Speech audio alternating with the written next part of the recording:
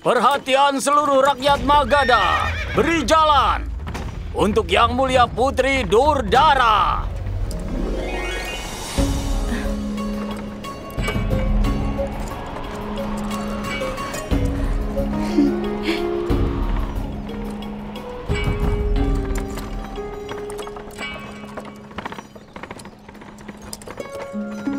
Sipra, idemu pergi bertamasya di luar sungguh luar biasa. Para pelayan itu terus saja membuatku kesal. Udara di luar sangat segar. Udara ini sungguh membuat jiwaku menjadi tenang. Seluruh amarahku langsung lenyap.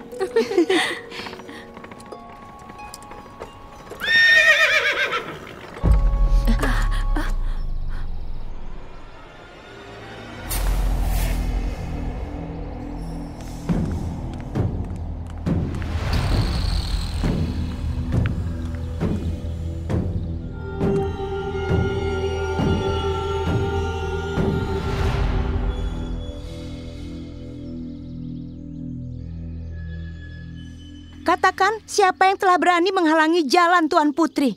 Para petani tidak punya jalan lain untuk bisa menarik perhatian keluarga kerajaan. Ini benar-benar tidak sopan. Apa kalian semua tahu? Sipra,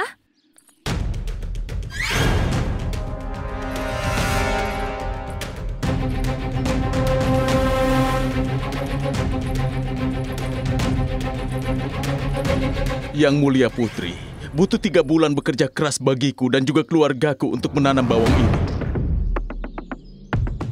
Tapi pejabat kerajaan hanya membayar dua koin untuk semua bawang ini. Dua koin itu bahkan tidak cukup untuk membeli makan dua hari. Yang mulia kami mohon, berikan kami keadilan. Atau minta saja pada Maharaja untuk menghabisi kami semua. Lebih baik tidak hidup lagi daripada menanggung beban ini.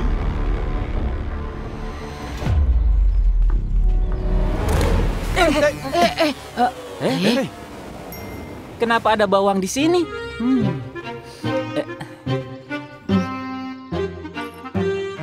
Wah, wah. Coba lihat itu.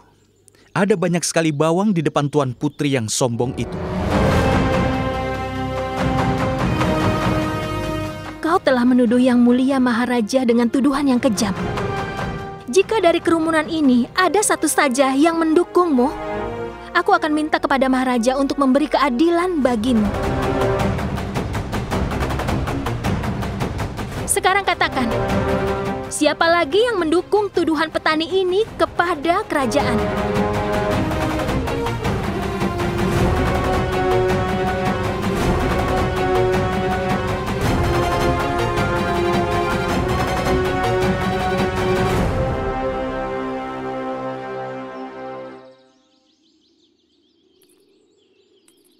Kau lihat kan? Tidak ada seorang pun yang mendukungmu. Itu berarti kau telah berbohong. Maharaja adalah penguasa di Magadha. Apa kau tahu hukumannya? Menuduh seorang maharaja yang sangat berkuasa? Prajurit, Tidak, tolong jangan. Lepaskan aku. Ah! Ah! Ah! Ah! Ah!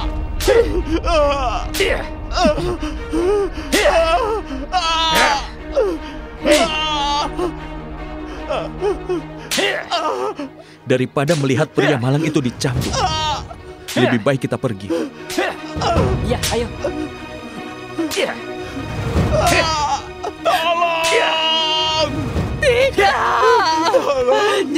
Jangan, jangan pukul putraku. Tolong kasihani kami, Putri. Maafkan putraku. Aku mohon, jangan pukul putraku.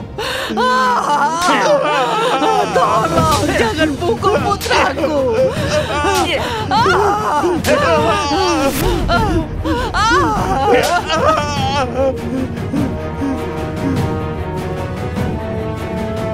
Ah, jangan,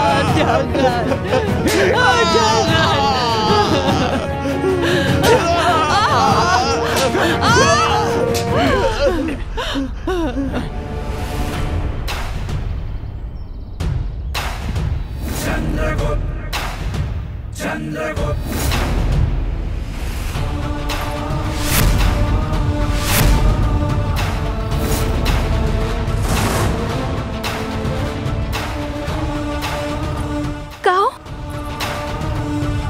Benar, ini aku. Jika kau berani mengangkat tangan untuk mencambuk orang yang tidak berdosa, maka tangan lain harus bisa menghentikannya.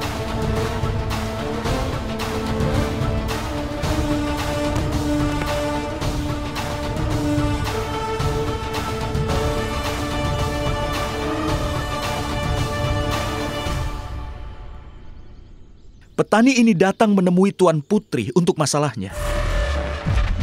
Tapi bukan menyelesaikan masalahnya. Kau malah mencambuknya.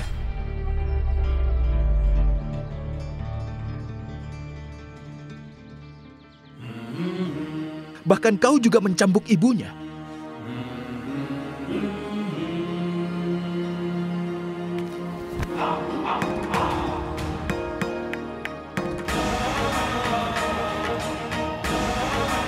Kau pikir siapa dirimu? Kau ini putri Magada kan? Tidak lebih. Tetapi seorang ibu, seorang ibu jauh lebih agung daripada maharaja, bahkan dari maharaja mana pun juga.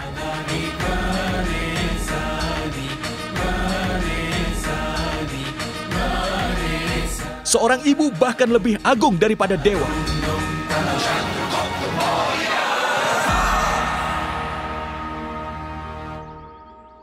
Bagus kau berani muncul sendiri di hadapanku. Pelayan? Kau hanya pangeran satu hari sehingga kau tidak mungkin tahu tata krama para bangsawan. Tapi tidak masalah. Aku yang akan mengajarimu. Prajurit, cepat tangkap dia.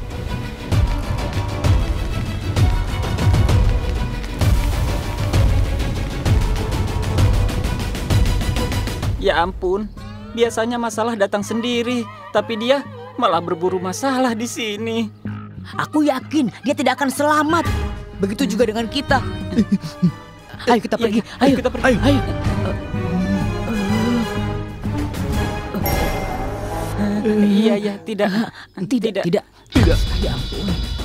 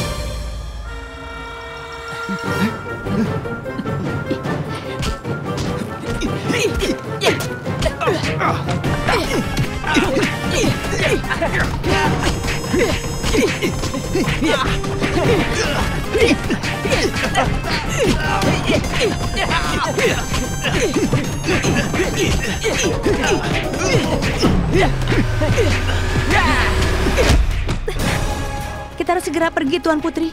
Aku ingin melihat pelayan itu tamat. Dia tidak akan selamat setelah dikepung oleh prajurit Magada. Tapi sebagai putri, berada di tempat umum seperti ini tidak sesuai dengan statusmu. Ayo kita pergi. Kusir, bersiap untuk pergi.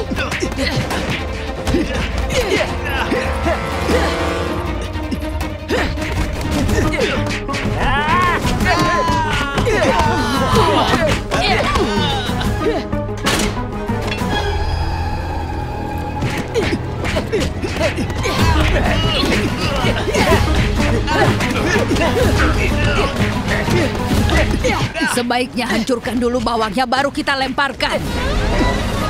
Nah, ini nak, ambil ini.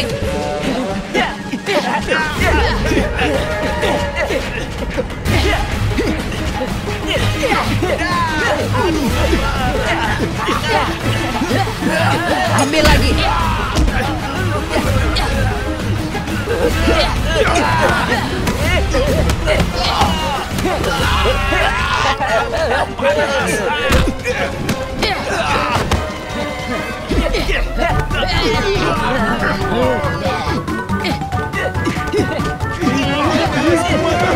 Lihat, semua ini berhasil. Hanya beberapa bawang saja cukup untuk membuat kalian menangis. Coba pikir, kalau ada lagi yang bergabung denganku, kalian bisa tenggelam dalam air mata kalian sendiri. Ayo, rasakan.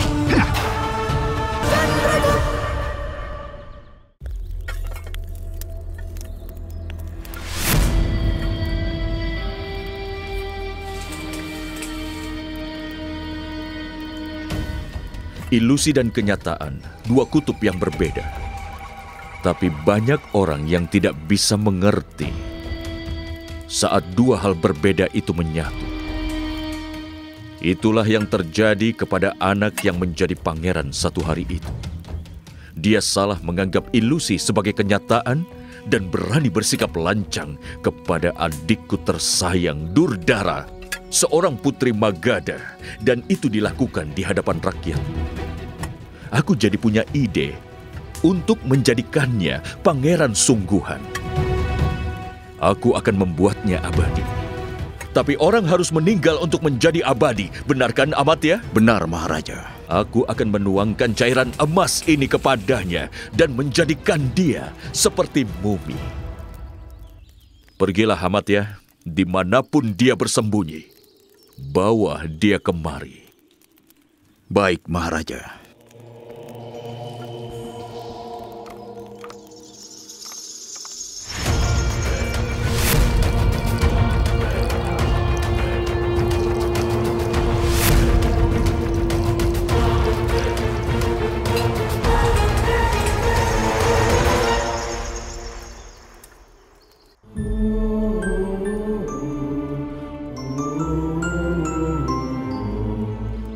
Demi masa depan negeri ini kita membutuhkan Chandragupta yang dengan kecerdasannya akan melenyapkan semua masalah yang terus merajalela.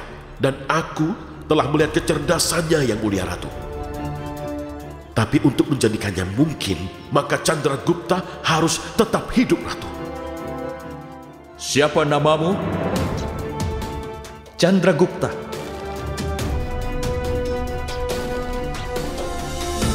Aku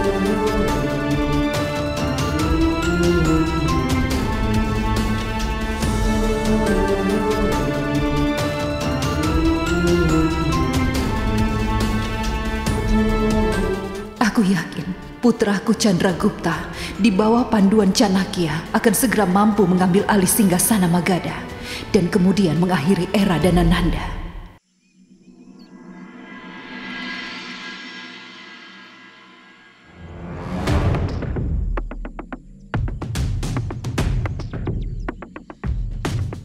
Petani ini datang menemui Tuan Putri untuk menyelesaikan masalahnya. Tapi bukan menyelesaikan masalahnya, kau malah mencambuknya. Kau pikir siapa dirimu? Kau ini Putri Magada kan? Cuma itu.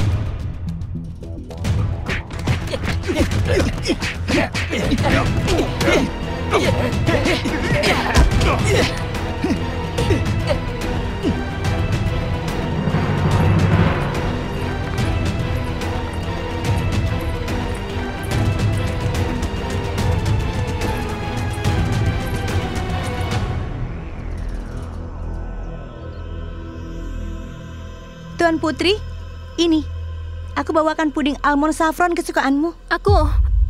Aku tidak ingin makan apa pun. Aku ingin pelayan itu berlutut di hadapanku. Tenang saja, dia pasti akan tertangkap. Aku yakin saat ini dia pasti sudah tertangkap. Setibanya di istana, kita tentukan hukuman apa untuknya nanti. Tenang saja, Putri.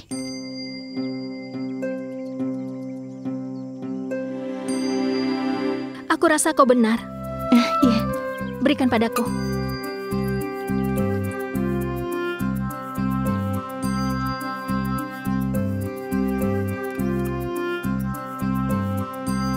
Memikirkan pelayan itu hanya membuang waktuku saja. Dan tidak akan ada yang bisa lolos dari kakakku, Maharaja Danananda.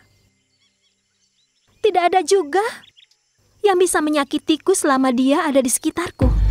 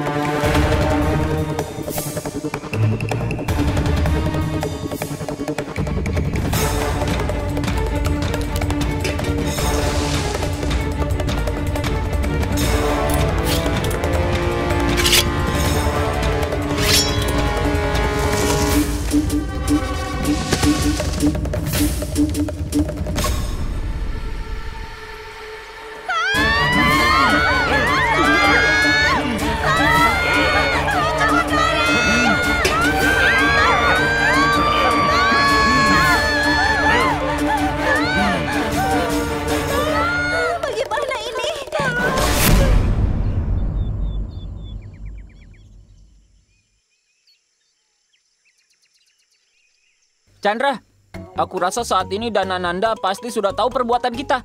Jadi sebaiknya kita meninggalkan Pataliputra sekarang juga. Ya, habiskan saja makanan kalian. Apa? Rencana dan strategi serahkan padaku. Chandra, Chandra! Gupta! Tolong kami! Tolong! Chandra Gupta! Chandra! Chandra Gupta, tolong! Tolong! Chandra! Chandra Gupta!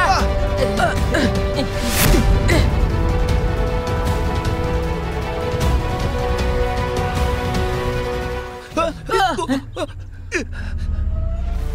Chandra Gupta!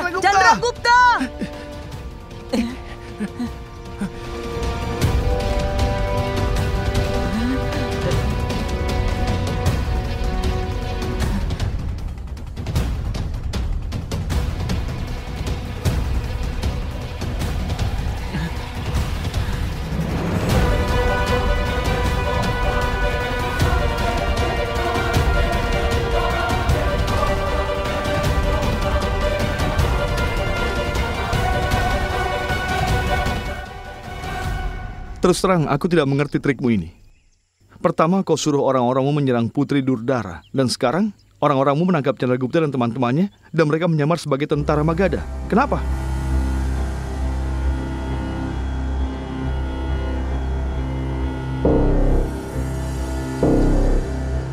Aku menyiapkan medan pertempuran untuk melatih calon Maharaja India bersatu. Acarya, tapi apa rencanamu sebenarnya? Orang yang memberitahukan rencananya lebih dulu pasti akan hancur Bairav. Kau akan tahu semua dengan sendirinya di saat yang tepat. Rencanaku akan membawa Chandragupta kepada takdirnya. Akan kubawa dia ke singgasana Maharaja ini.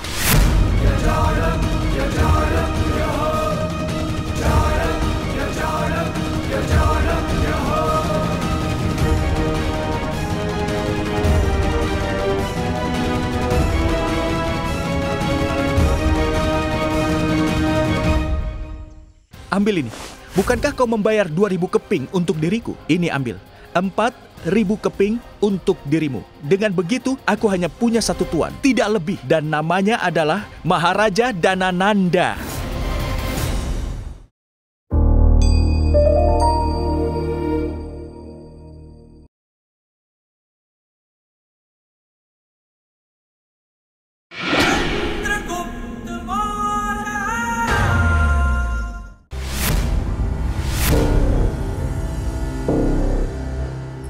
Tidak tahu kesalahan apa yang akan kalian lakukan.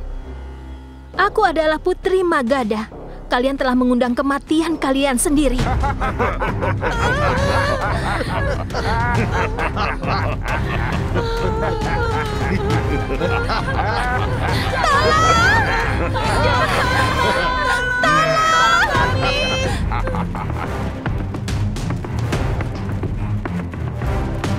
Yang salah itu adalah Tuan Putri. Dia menganiaya orang tidak berdosa. Aku mendengar suara.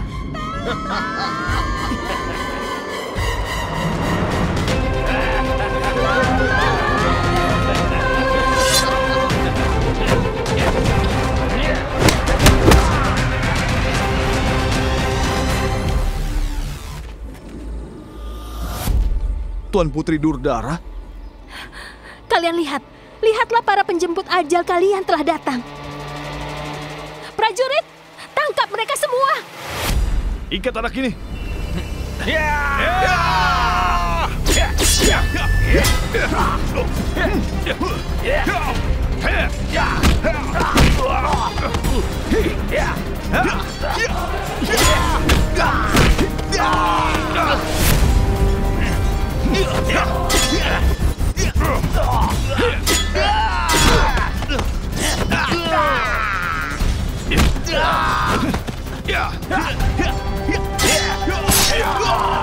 Wah, para perampok itu benar-benar tangguh.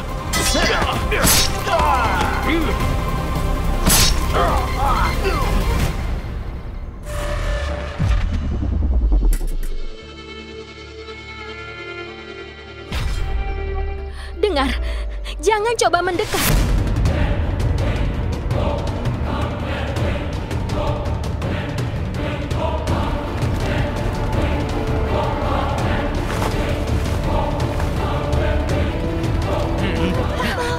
Lepaskan kami! Lepaskan kami! Lepaskan!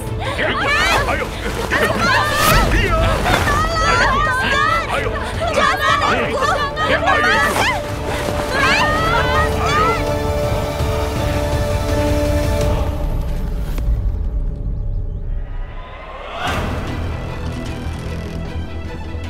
Kau tidak akan bisa lari dariku.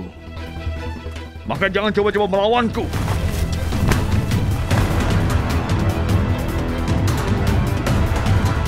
Hei dengar, jangan coba-coba mendekatinya ya. Hei, mari kau. Ayo ikut. Ya. Sipra! Lepaskan! Lepaskan! Lepaskan aku! Lepaskan!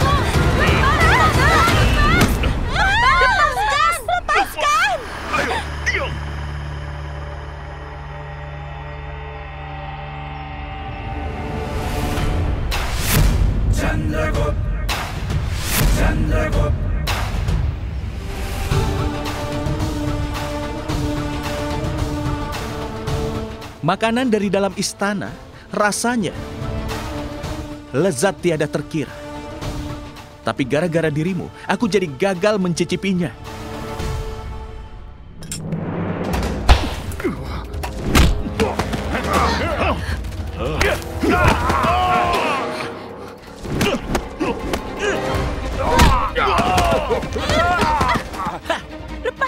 Berusahalah menyelamatkan diri kalian.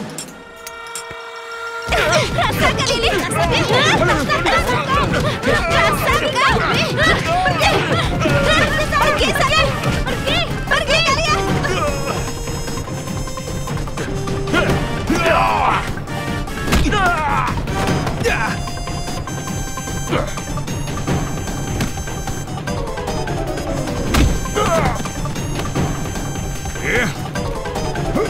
Ada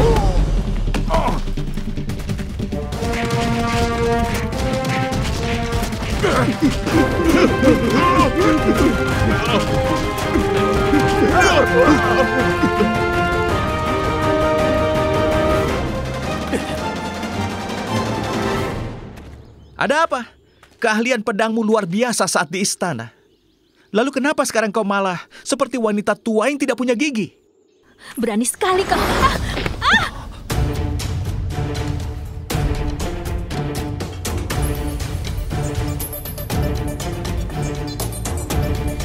Jangan berani menyentuhnya, pelayan.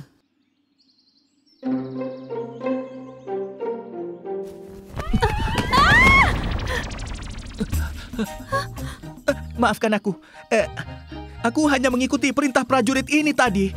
Eh, eh, maafkan aku ya.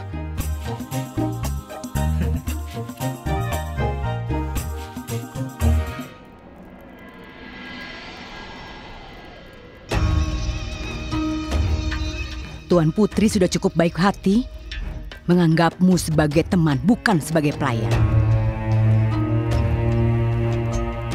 Tapi bukan berarti kau boleh tidak melaksanakan tugasmu. Tapi Bu, aku sudah berusaha. Lalu kenapa kau tidak mengorbankan dirimu? Bagaimana kalau Putri sampai celaka? Daima, dia sudah berusaha sebaik mungkin. Perhatian! Yang mulia Maharaja Danananda tiba!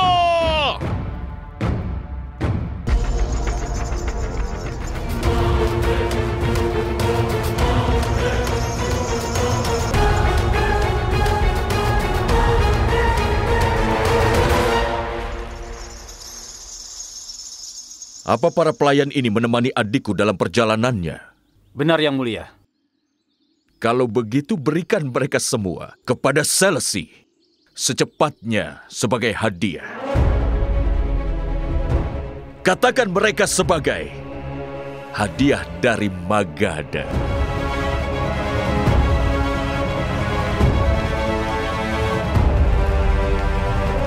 Durdara, Durdara, adikku sayang.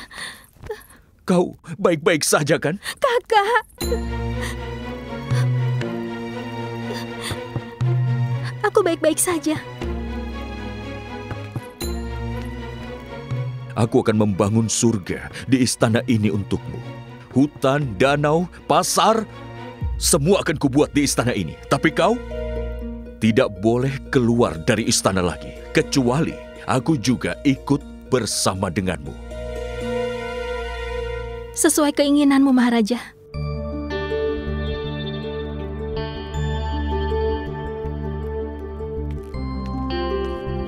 Panjang umur yang mulia. Yang mulia, pelayan itu sudah dibawa ke ruang sidang. Kakak, aku juga ikut denganmu. Tentu saja.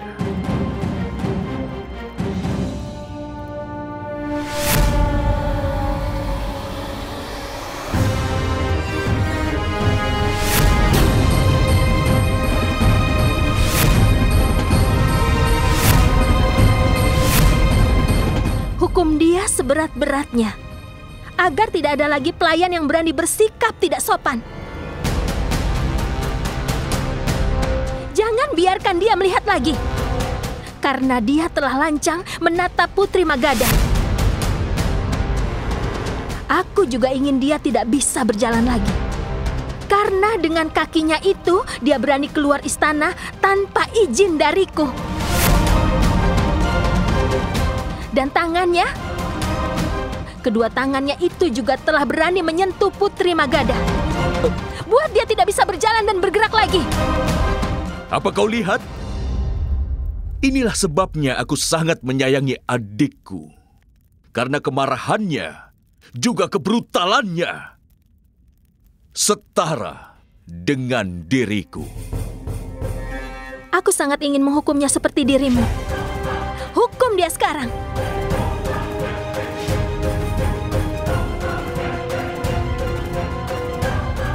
Kau memiliki semua kualitasku. Tapi kau masih belum belajar untuk melihat sesuatu dari sudut pandang lain.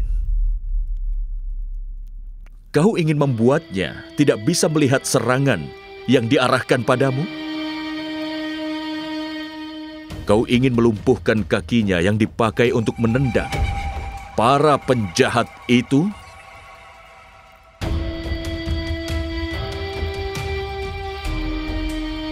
Dan tangan itu? Tangan itu telah menyelamatkan jiwamu.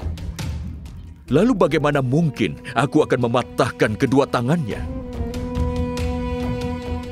Tidak, tidak. Pelayan inilah yang telah menyelamatkan adik kesayangan Maharaja Danananda. Jadi dia tidak pantas dihukum, tapi harus diberi hadiah dan dia juga tidak boleh dihina, melainkan dihormati.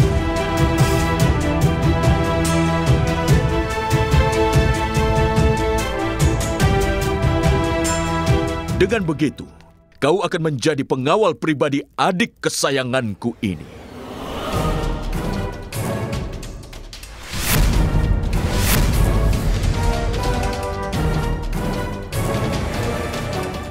Tapi kak, Tidak. Tidak ini, tidak itu. Saat penguasa Magadha telah memutuskan, maka tidak ada yang boleh menolaknya. Bahkan tidak juga adik kesayangan Maharaja. Silahkan, nak. Apakah kau masih memiliki pertanyaan mengenai ini dan itu? Kalau aku menerima tawarannya, maka pintu istana ini akan terbuka secara permanen bagiku. Dengan begitu aku bisa menemukan ibuku. Tapi apakah aku bisa melakukan tugasku dengan baik?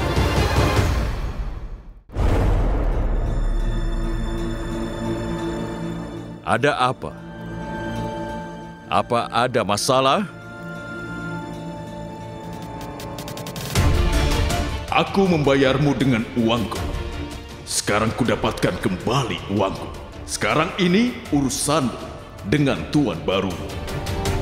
Tidak lama lagi aku akan membebaskan diriku dengan membayarmu kembali. Masalah apa yang mulia? Perintah dari Maharaja adalah perintah dewa bagiku. Mana mungkin aku mengabaikannya? Hanya saja aku punya sedikit permohonan kepadamu yang mulia. Bisakah Maharaja memberikan upah kepada pelayan ini gaji selama satu tahun penuh di awal yang mulia? Caramu mengutarakan keinginanmu selalu saja membuatku merasa terkesan anak muda. Keinginanmu akan kupenuhi. Tapi ingat baik-baik. Jika di bawah pengawasanmu, sehelai saja rambutnya terluka. Sejak awal aku tidak akan membiarkan rambut mana pun terluka.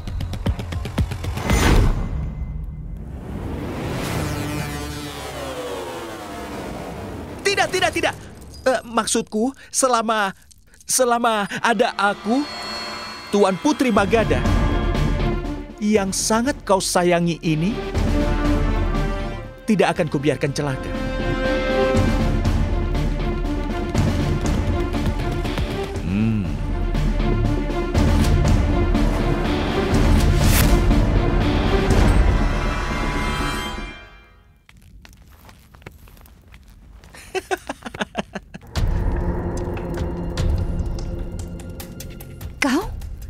Kau di sini? Eh, ibu pemberani, kau di sini?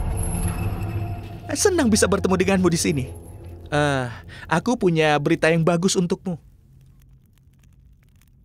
Aku mendapatkan pekerjaan di istana ini. Mulai sekarang, aku akan menjadi pengawal pribadi Putri Durdara.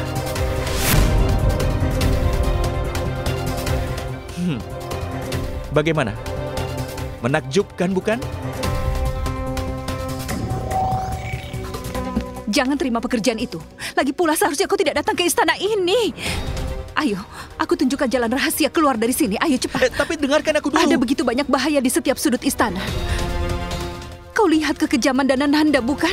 Jadi kau pergi saja dari sini. Eh, Ayo. tunggu dulu. Tolong dengarkan aku sebentar. Aku harus tinggal di istana ini. Aku menerima pekerjaan ini untuk sebuah alasan. Ada seseorang yang bilang padaku bahwa ibuku dia tinggal di istana ini. Itulah sebabnya aku harus tinggal di sini untuk menemukannya.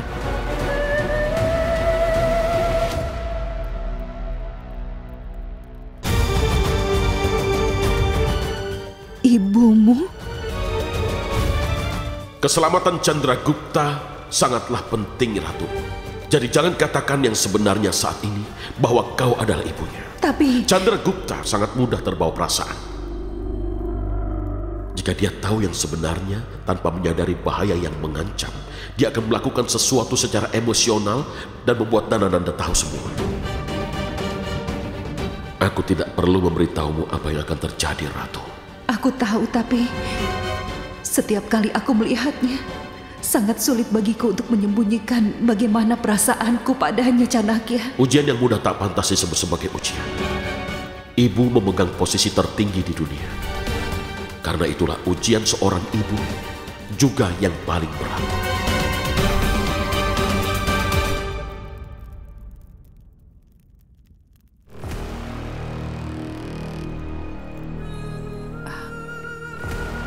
Mungkin saja kau sudah salah menduga.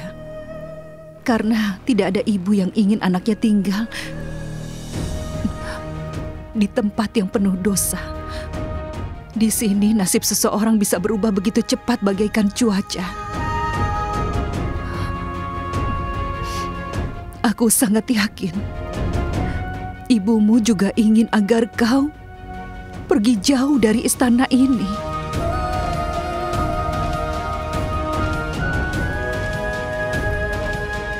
Kasih sayang ini semua mencerminkan kasih sayang seorang ibu. Kau memang pantas menjadi seorang ibu. Tetapi ibuku tidak seperti dirimu. Kau cerminan kasih sayang dan kebaikan hati. Tapi ibuku, dia begitu kejam. Dia egois. Dan dia serakah. Apa? Ya.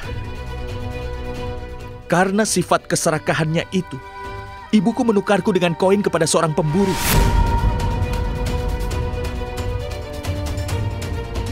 Lalu dia tinggal di istana ini untuk menikmati kemewahan dan kekayaan di istana ini tanpa memikirkan bagaimana putranya bisa selamat di tengah-tengah dunia yang kejam dan juga dunia yang penuh keegoisan. Ibuku sudah merampas masa kecilku hanya demi beberapa koin uang.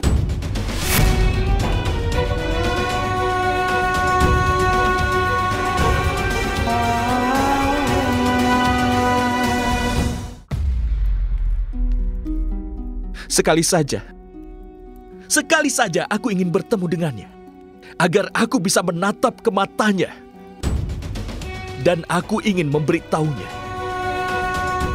betapa putranya sangat membencinya. Aku mohon maafkan kami. Tolong bebaskan kami. Tolong. Ayo kita sembunyi. Diam. Tolong Diam. bebaskan kami. Aku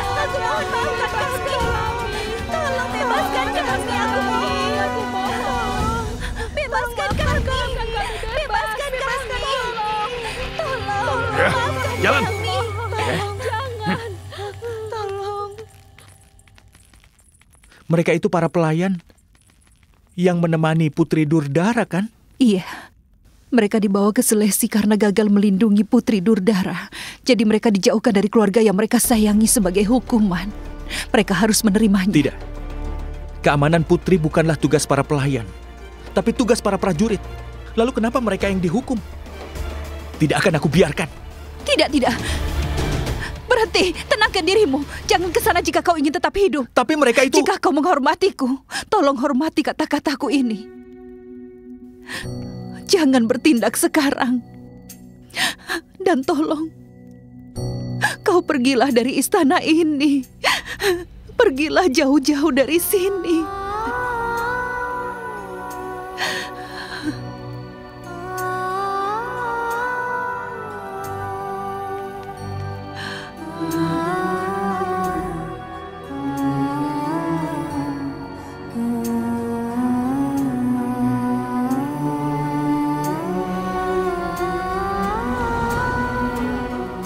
Maafkan aku. Aku sangat menghormati keinginan pertamamu. Tapi tolong maafkan aku. Aku tidak bisa menuruti keinginan keduamu. Aku juga tahu kau sangat mencemaskan aku. Dan kau melihatku sebagai anak yang pemberani.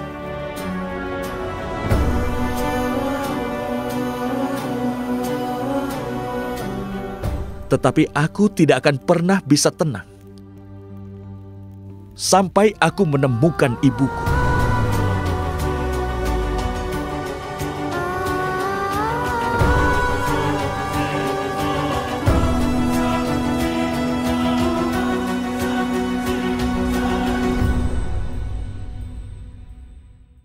Ambil ini. Bukankah kau membayar 2000 keping untuk diriku? Ini ambil. 4000 keping untuk dirimu. Dengan begitu, aku hanya punya satu tuan, tidak lebih. Dan namanya adalah Maharaja Danananda.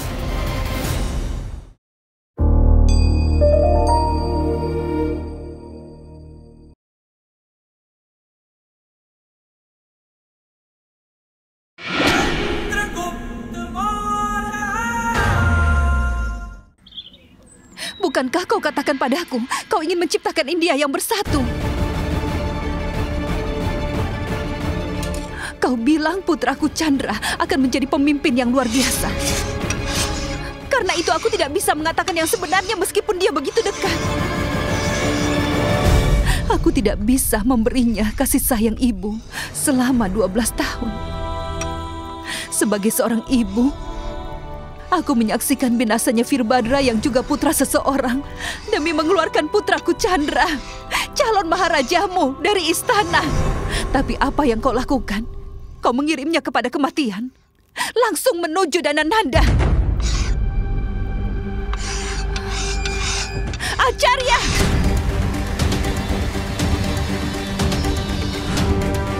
Kau pasti tahu. Istana adalah tempat yang paling terkutuk.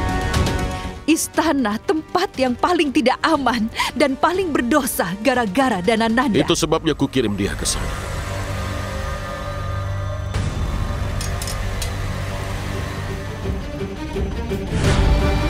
Setelah kau sendiri bertemu dengannya, maka kau pasti sudah tahu dengan sendiri betapa Chandra Gupta sangat benci akan dirinya.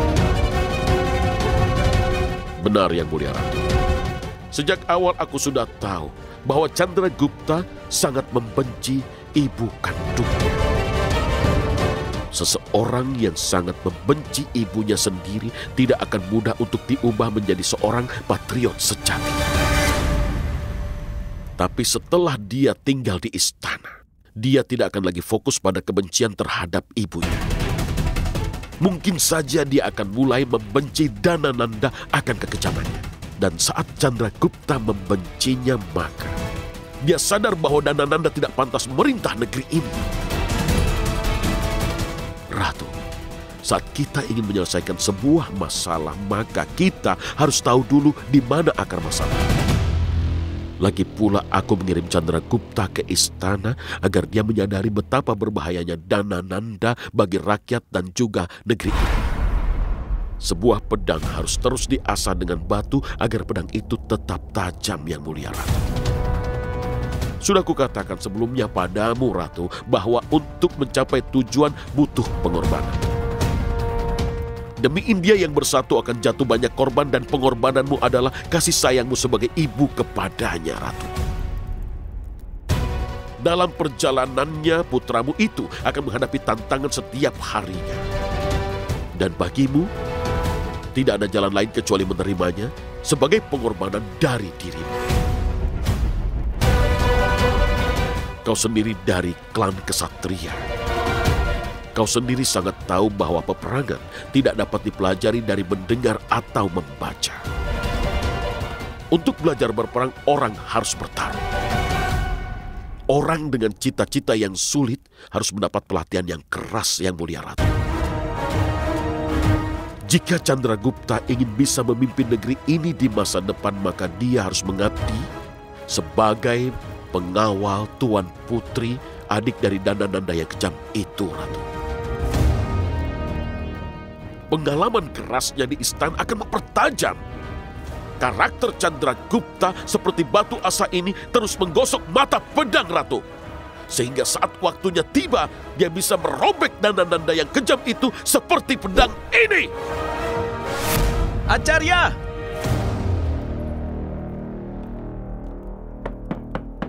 Acarya, tolong buka pintunya.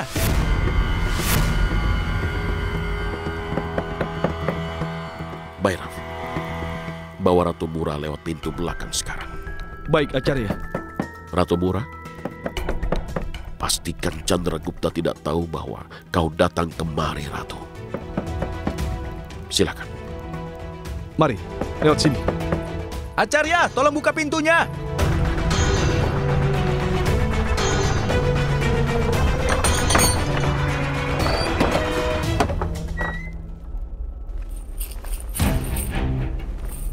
Ambil ini.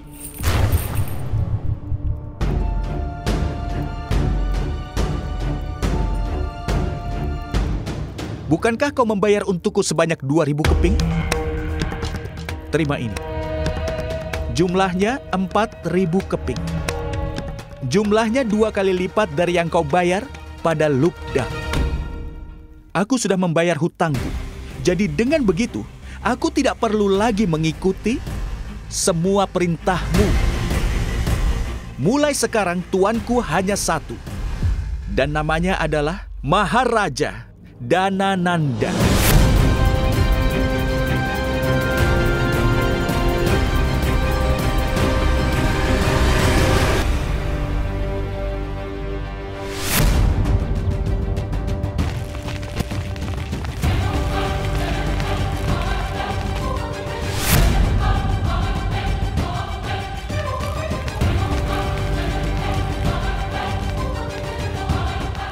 Maharaja, sesuai perintahmu, kami telah memperketat penjagaan istana. Tapi kita sampai sekarang masih belum bisa menemukan pelaku yang sudah menyerang adikku Amatya. Aku bahkan belum tahu siapa dalang di balik penyerangan itu. Dan di mana mereka berada. Saat ini aku juga sedang mencarinya yang mulia. Aku sudah menyebar orang-orang. Dan tidak lama lagi, aku akan bisa menangkap mereka.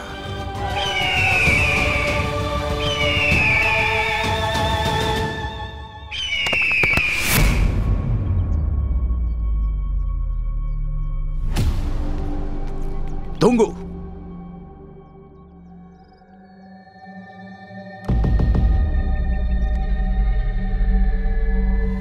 Coba pikirkan yang mulia. Kenapa elang menyerang ular ini? Biasanya Amatya, ular sanca itu menyerang telur-telur elang. Mungkin sanca ini juga melakukan hal yang sama. Begitu juga dengan manusia yang mulia. Mereka menyerang karena dendam. Ular sanca ini mungkin mencoba menyantap telur elang. Padahal sasarannya bukan telur, tapi elang itu sendiri. Itulah yang mempertajam sebuah permusuhan. Jadi maksudmu adalah orang yang telah berusaha menyerang adikku adalah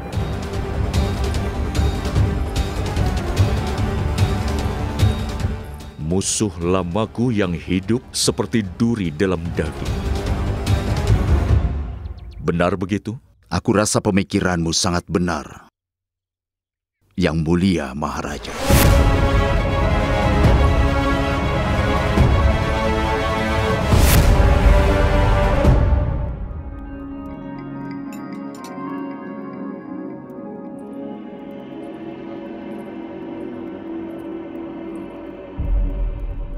Ibuku itu orang yang kejam, egois, dan sangat serakah. Dia sudah menukarku demi beberapa koin kepada seorang pemburu. Sekali saja aku ingin bertemu dengan ibuku, lalu aku ingin menatap matanya dan berkata betapa putranya ini sangat membenci dirinya. Murah!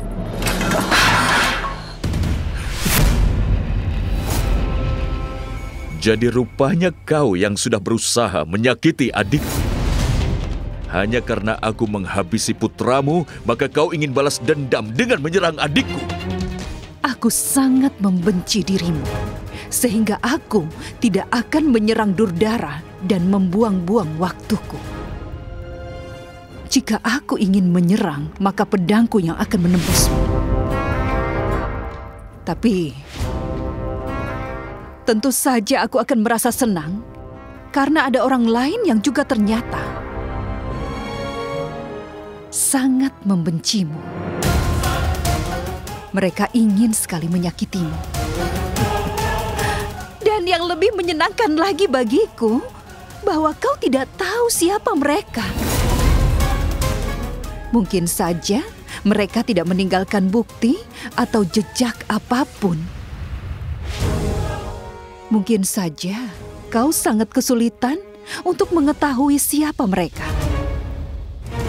Mungkin saja mereka tinggal di sini sebagai temanmu. Selama tujuan politik kita sama, kita bersekutu. Beda tujuan membuat sekutu menjadi musuh. Semoga saja tujuan kita akan bisa selalu sama. Sehingga kita tidak akan perlu untuk saling menyakiti.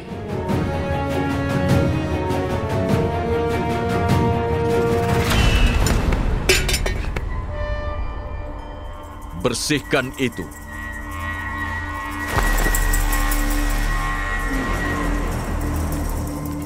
Sedikit saja kecurigaan sudah cukup untuk bisa menghanguskan seluruh kerajaan ini dan Ananda. Terima kasih Acarya Canakya. Kau telah berhasil mengajariku untuk bisa memanfaatkan bagaimana kecurigaan Danananda kepadaku.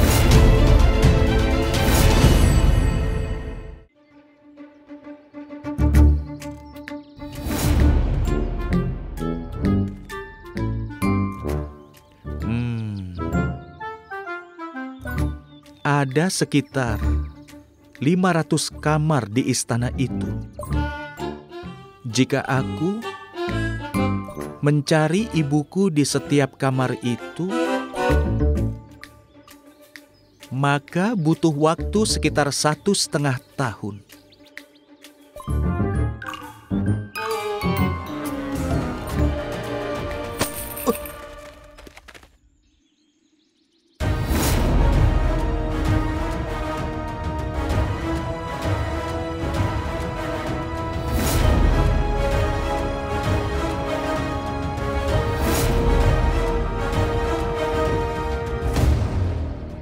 Ada aturan antara majikan dan pelayan. Untuk bisa membayar hutangmu, kau harus membayarnya dengan menyenangkan hati tuanmu. Lagi pula, aku tidak membebaskanmu dari lubda karena aku tamak akan uang. Aku ingin kau melakukan sebuah tugas istimewa untukku. Satu-satunya cara untuk bisa lepas dari cengkramanmu adalah dengan memberitahu Maharaja Danananda tentang persembunyian. Hmm. Dengan begitu, aku akan mendapatkan hadiah darinya. Dan aku bisa bebas darimu. Hmm.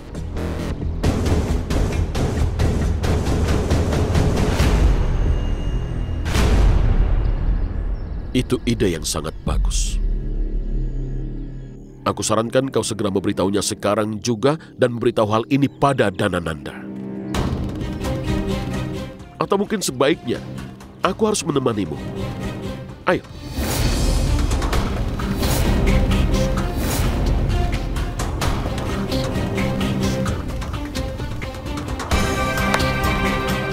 Salam.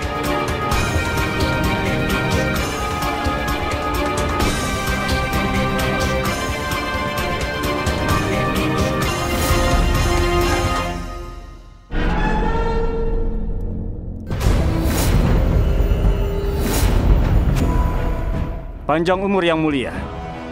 Selesi juga memberimu sebuah hadiah, bersamanya dia juga mengirimkan pesan.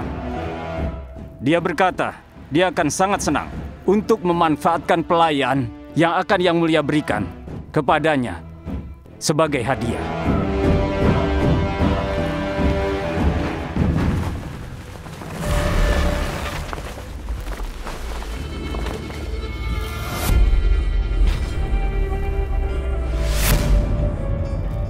Lihatlah yang mulia. Ini bukan hanya sekedar hadiah, tapi sebuah pertanda bahwa dia selalu ingin menjadi sahabat dan sekutu dekatmu.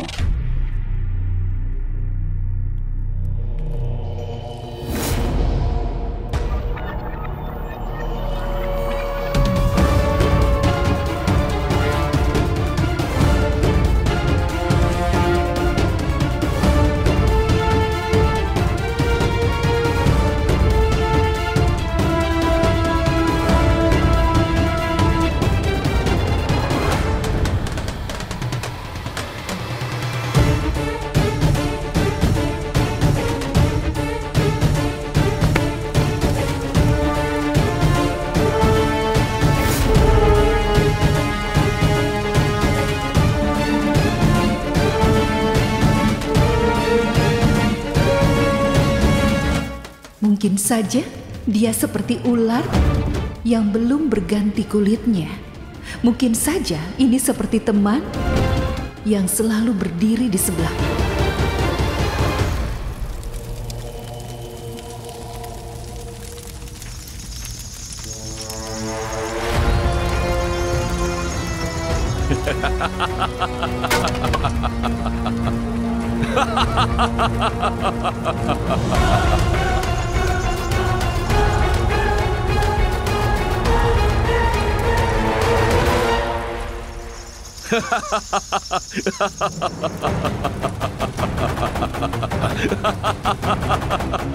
Yang mulia, ada apa? Kita punya kesempatan untuk bersahabat dengan Selsi. Dengan membakar hadiahnya, bisa menimbulkan permusuhan dengannya. Mungkin saja semua kilauan dari hadiah ini telah menyilaukan pandanganmu tentang masa depan Amatya. Karena itulah kau tidak mampu lagi mendengar bahwa musuh sudah mulai membunyikan trompet perangnya. Dengan menyerang adikku, musuhku telah memulai sebuah gerakan. Dan sekarang, akulah yang akan bergerak. Kita harus selalu waspada, Amatia. Siapa pun bisa menjadi musuh kita. Termasuk Selesi. Dialah yang selalu bermimpi ingin menguasai kerajaan ini. Mungkin saja dia adalah salah satu musuh kita yang menyamar sebagai teman. Segera siagakan seluruh mata-matamu, Amatia. Segera cari tahu apa saja yang saat ini sedang direncanakan oleh Selesi. Laksanakan, Maharaja.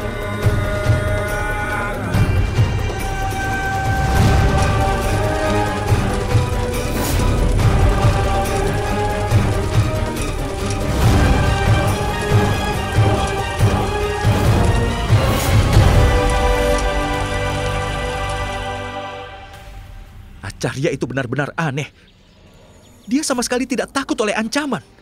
Kalau saja aku mengadukan tempat persembunyiannya, maka aku tidak akan bertanggung jawab atas kejadian yang akan menimpanya.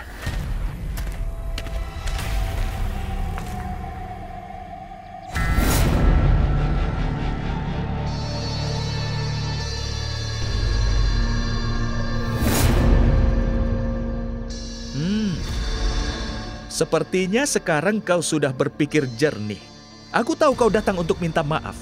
Baiklah, aku tidak akan mengadukan persembunyianmu pada Maharaja, tetapi dengan satu syarat. Akan lebih baik kalau kau tidak pernah ikut campur urusanku lagi. Uang yang aku berikan padamu, gunakan saja untuk berlibur dan mencari calon Maharaja India yang baru.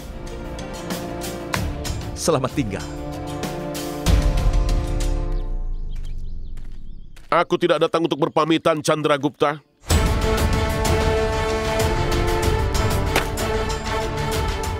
Aku datang untuk ikut denganmu ke istana raja.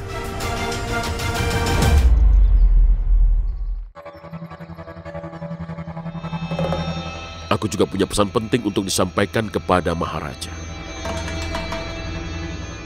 Jika aku ikut denganmu, maka tugasku akan menjadi lebih mudah. Ah, baiklah. Tapi informasi penting apa yang mau kau sampaikan? Aku akan memberitahu Danananda apa tujuanmu sebenarnya, Chandragupta. Dengan menerima tawaran. Ya Chandragupta, aku tahu benar bahwa 4000 koin yang kau berikan kepadaku itu adalah pembayaran dari Maharaja Danananda. Dan aku juga tahu benar alasanmu. Kenapa kau menerima tawarannya menjadi pengawal pribadi adiknya? Itu agar kau bisa mencari ibumu dengan mudah dan tinggal di istananya Danananda. Kalau melihat dari cara para tentara Magadha mengejarmu, maka cepat atau lambat, kau pasti akan muncul di hadapan Maharaja. Kau pun akan segera dilenyapkan dari muka bumi. Jika tujuanku tidak bisa tercapai, maka hidupku pun tidak akan berarti. Dan meskipun aku tiada, tetap saja ada orang lain yang bisa memberitahukan rahasiamu kepada Danananda. Benarkah? Memangnya siapa mereka? Lihat saja.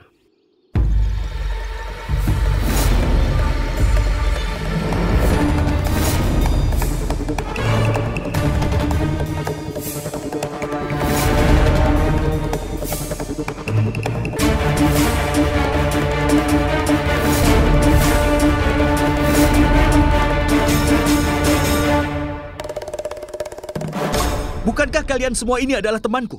Lalu kenapa kalian malah mendukung pria yang tidak waras ini? Diamnya mereka harusnya memberitahumu apa yang akan mereka lakukan.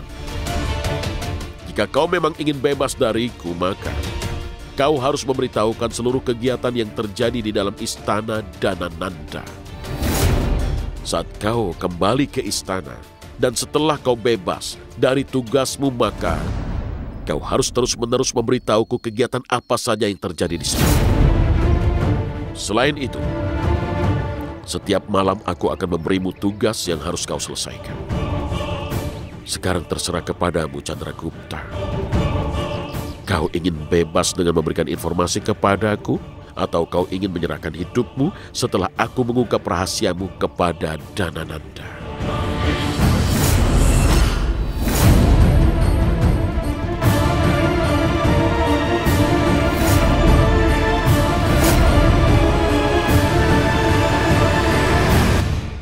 Kau memiliki pemikiran yang licik, Acarya.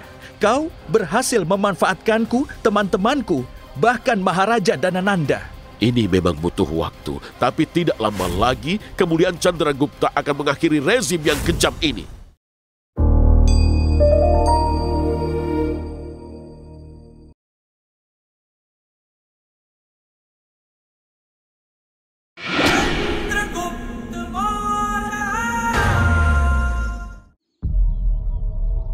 Jika kau tidak ingin menjadi Maharaja India berikutnya, aku juga tidak akan mengganggumu, Chandragupta. Aku akan memenuhi impianku dengan bantuan orang lain. Kau hanya akan menyampaikan informasi kepadaku. Oh ya, aku akan memberimu tugas setiap malam yang harus kau penuhi. Sekarang terserah kepadamu Chandragupta. Kau mau memberiku informasi dan membebaskan dirimu atau menyerahkan nyawamu setelah rahasiamu diungkap kepada Danananda? Aku mengerti. Jadi kaulah yang membuat seluruh perangkap ini. Putri Durdara diserang, dan aku tiba di sana tepat waktu.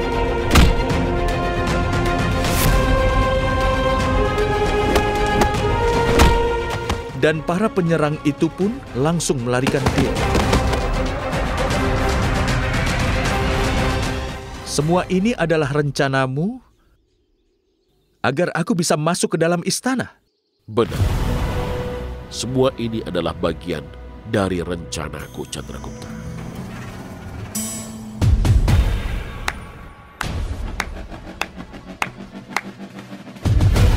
Kau sangat cerdas dan sangat licik, Acarya. Aku pernah mendengar tentang melempar dua burung dengan satu batu. Tapi dirimu telah melempar seluruh Magada. Aku, Lubdak, Putri Durdara, teman-temanku ini, bahkan juga Maharaja Danananda berhasil kau manfaatkan. Dari pertanyaan yang kau ajukan, bolehkah ku artikan bahwa kau telah menerima tawaranku? Aku tidak punya pilihan yang lain. Aku terima.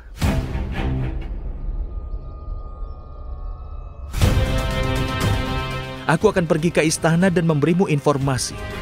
Dan selain itu, aku juga akan selesaikan tugasmu setiap malam. Tapi bagaimana aku bisa yakin bahwa kau tidak akan cerita pada siapa pun alasanku pergi ke istana? Semua yang kita bicarakan ini adalah kesepakatan. Jika kau menjaga rahasiaku, maka aku akan menjaga rahasiamu juga, Chandragupta. Sekarang kalian puas? Teman baru kalian ini tidak akan mendapatkan masalah berkat diriku.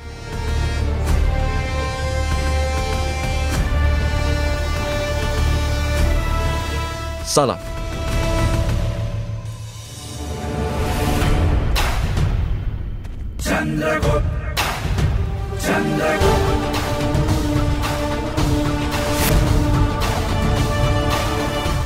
Acarya, kami pasti akan membantumu. Tapi Chandra dan kami bertiga selalu bersama-sama sejak kecil seperti sebuah keluarga, baik di saat suka maupun duka. Tapi hari ini kami telah menentang keinginannya. Kami sungguh merasa sedih, Acarya. Benar, Acarya. Kami membantumu hanya karena kami berpikir bahwa Chandragupta pasti bisa melakukan hal besar di dalam hidupnya. Itu sudah pasti. Chandragupta akan melakukan hal yang sangat besar. Bukan hanya untuk dirinya. Tapi juga untuk seluruh India bersatu ini. Tapi memang butuh waktu untuk menaklukkan keras kepalanya. Dan tidak lama setelah itu, cahaya terang yang memancar dari dirinya akan bisa menghancurkan kegelapan penindasan ini.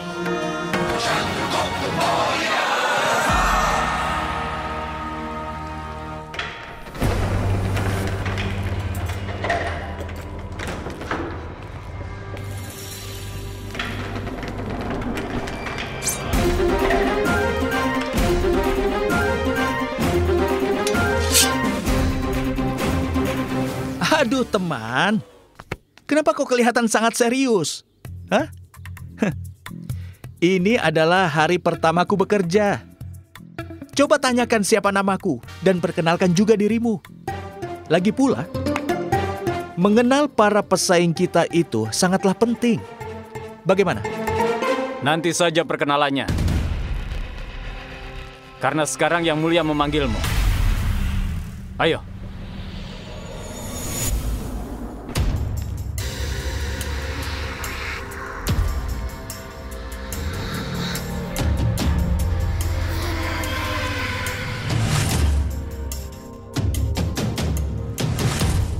Maharaja, aku aku da aku datang atas perintahmu. Aku sudah di sini yang mulia.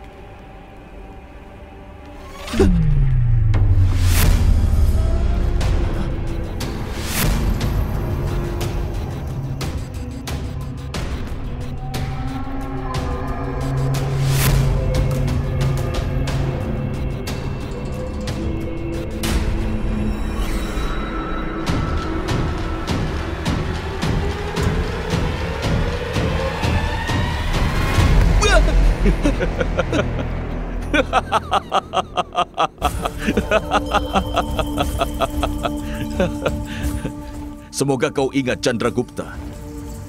Mulai sekarang, kau akan bertanggung jawab menjaga tiara kesayanganku dan paling berharga di seluruh dunia. Keselamatan adikku akan menjadi tanggung jawabmu. Itu bukan saja tugasmu, tapi itu tanggung jawabmu. Dan dari tanggung jawabmu itu juga menuntut sebuah pengorbanan. Karena itulah kau harus bersumpah sebelum kau bisa menerima tanggung jawab ini. Kau harus mengorbankan sesuatu yang kau sayangi supaya ingat pada sumpahmu. Kau harus berpisah dengan sesuatu yang sangat berharga bagimu. Dan sesuatu yang hanya jadi milikmu, bukan milik orang lain.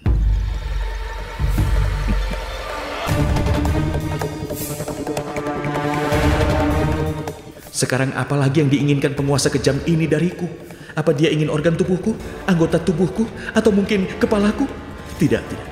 Aku tidak bisa menjaga adiknya kalau kepalaku menghilang atau anggota tubuhku. Jadi apa?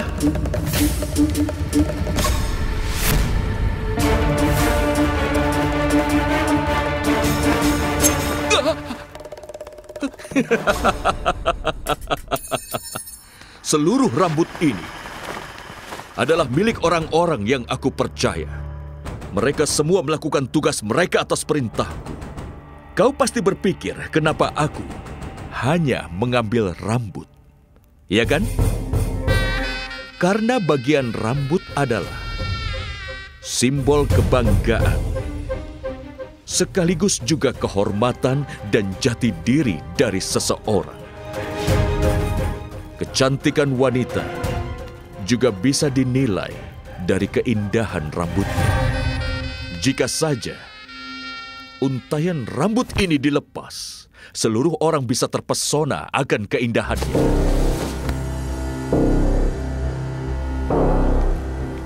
Pasti kau pernah dengar bagaimana Kurawa dihancurkan setelah mereka mengejek rambut Drupadi. Hanya karena beberapa genggam rambut dinasti Kurawa dihancurkan. Pernah dengar kan? Kapan seseorang menjadi botak? Hmm? Saat seseorang kehilangan ayah dari sebuah klan atau sebuah keluarga, berpisah dengan rambutmu berarti kau telah menerima tanggung jawab itu di atas kepalamu. Artinya, kau telah menerima tanggung jawab menjaga Durdara. Sekarang ulurkan tanganmu.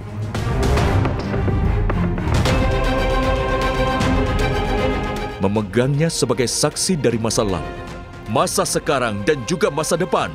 Di sini di hadapanku kau harus bersumpah tentang tanggung jawab untuk menjaga keselamatan adik tersayang.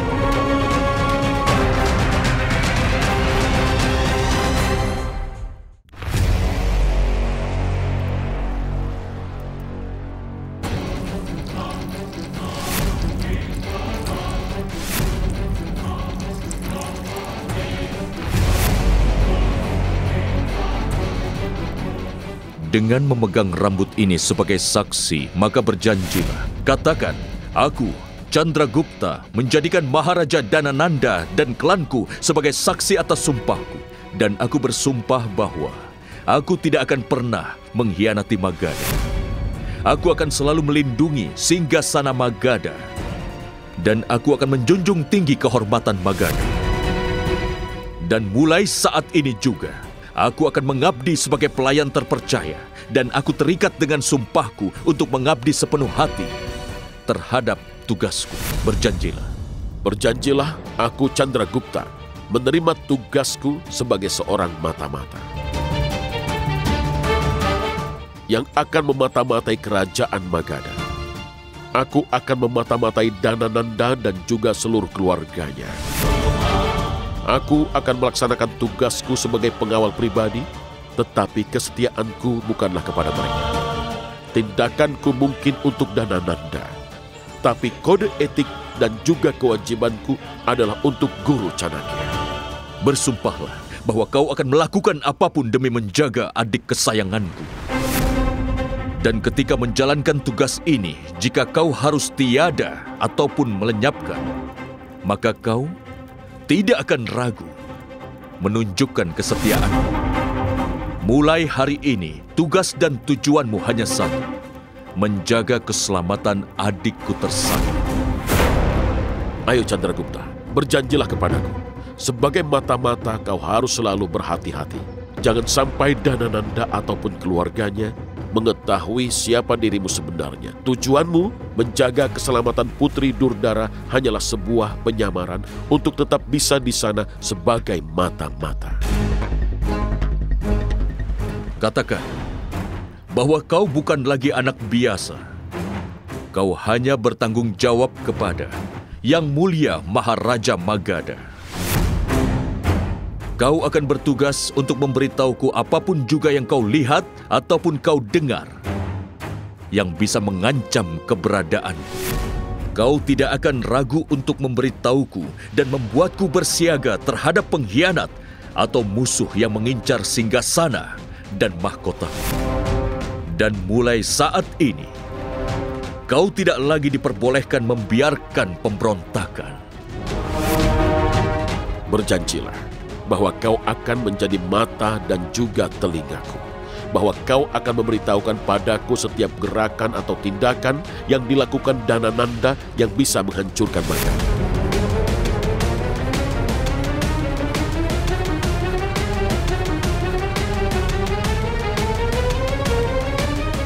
Ada apa?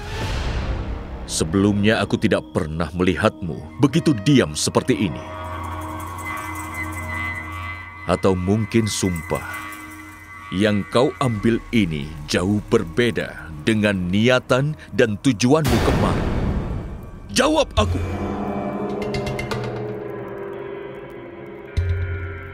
Panjang umur Raja Danananda, hidup! Apa jawaban ini sudah cukup, Yang Mulia Raja?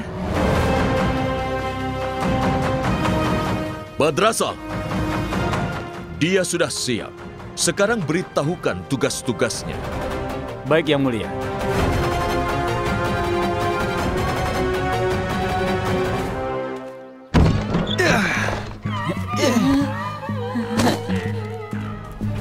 Acarya, untuk apa semua ini?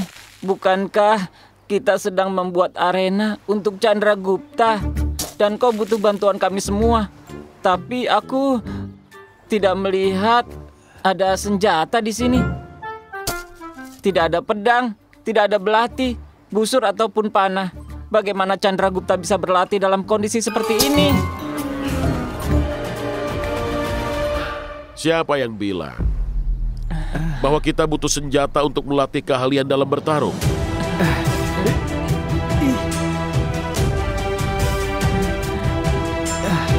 Acarya, tolong jangan buat teka-teki lagi.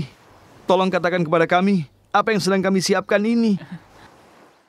Dengan melihat tumpukan ini, kami sungguh tidak mengerti bagaimana papan kayu, kendi penuh dengan air, dan ini keranjang penuh ular berbisa. Juga tangga dan kayu-kayu ini bisa membantu Chandra menjadi orang yang hebat. Tolong jelaskan pada kami, pelatihan macam apa ini? Tolong katakan pada kami, Acarya.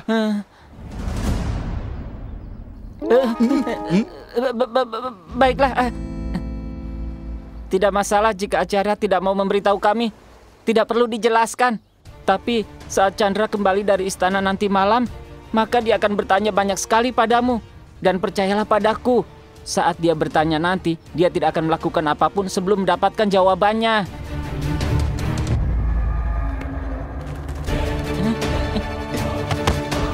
Aku tahu benar keras kepalanya temanmu itu. Karena itulah untuk bisa melatihnya, aku harus mengalahkannya lebih dulu.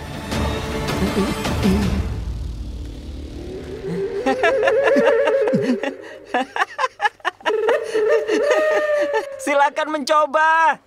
Aku mendoakan yang terbaik untukmu, Acarya.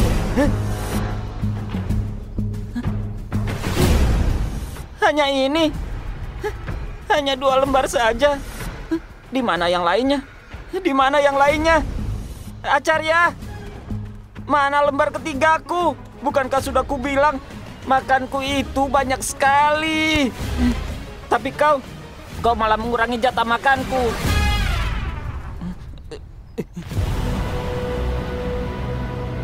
Kau ingin lagi? Setuju. Ambillah.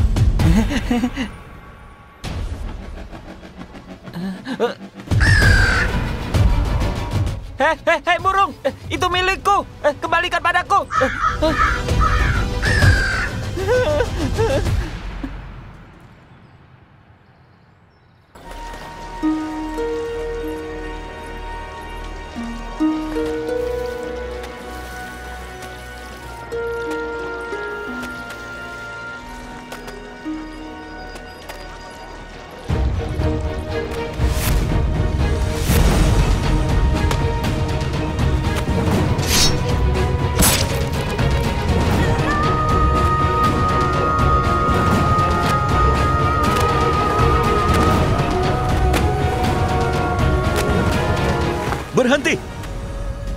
Kalau tidak, aku harus memberitahu kepada para prajurit.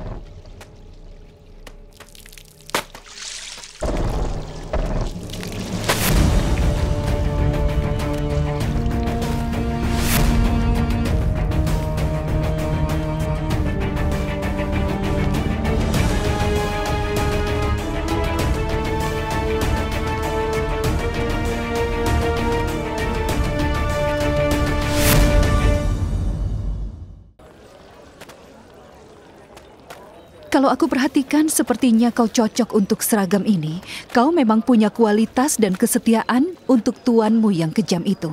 Kalian memang sama. Dengarkan aku ibu dari Virbadra. Aku mengerti semua penderitaanmu. Bahwa di depan matamu, putramu telah dihabisi. Meskipun begitu, aku sarankan jangan melakukan sesuatu terhadap yang mulia raja. Hingga akan menyulitkan dirimu. Apa pun yang terjadi hari ini, aku tidak akan bercerita kepada orang lain. Tapi kau harus berhati-hati. Jangan lupa, kalau kau tidak punya kekuatan untuk bisa melawan penguasa Magada.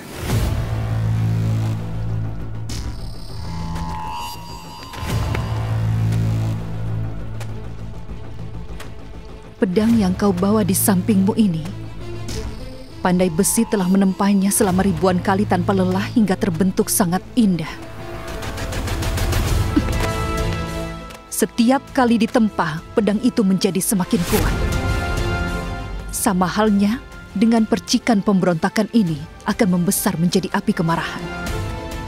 Kau akan lihat, kutukanku ini akan menghancurkan Dana Nanda.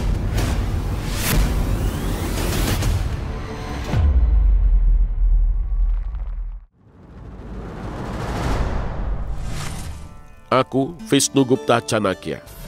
Aku adalah guru yang memandu para murid dengan caranya sendiri. Orang bilang kita belajar dari pengalaman, tapi pengalaman itu tidak perlu milik kita sendiri.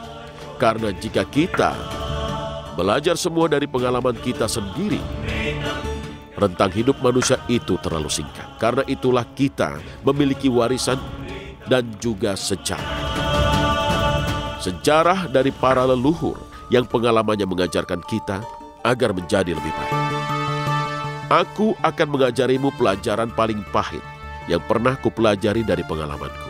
Tapi kenapa aku mengajarimu?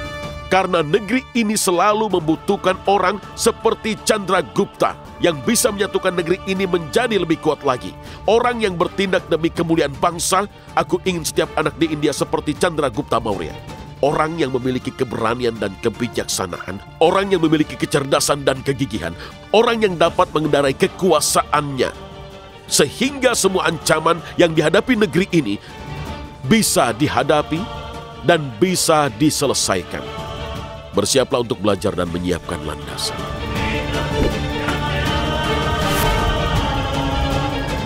Pelajaranku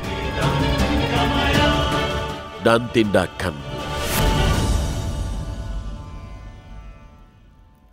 anak biasa yang bahkan belum dewasa lebih dihormati oleh Maharaja daripada dirimu, Samandev.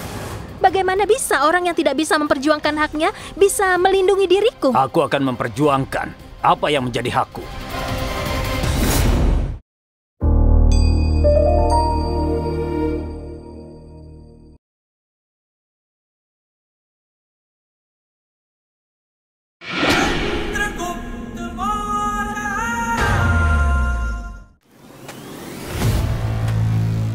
Pedang yang kau bawa di pinggangmu itu, pandai besi telah menempanya selama ribuan kali sehingga menjadi sangat indah. Setiap tempaan yang diterima pedang membuat pedang menjadi kuat. Sama seperti itu, percikan kecil dari pemberontakan ini akan terkumpul menjadi api pemberontakan. Kau lihat saja, kutukanku ini akan menjadi akhir dari Dana Nanda. Aku tahu. Tapi aku juga sudah bilang padamu bahwa aku tidak tertarik dalam kemenangan atau kekalahan seseorang. Aku akan tunduk dan bekerja di sini. Dan aku akan mencari ibuku.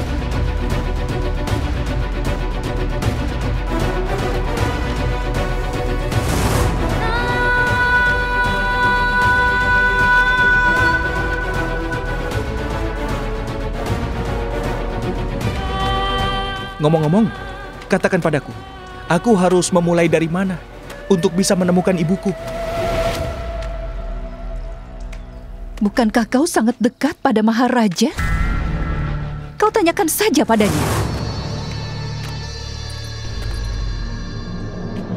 Hmm. Ini salahku. Bertanya kepada ibu yang sedang berduka.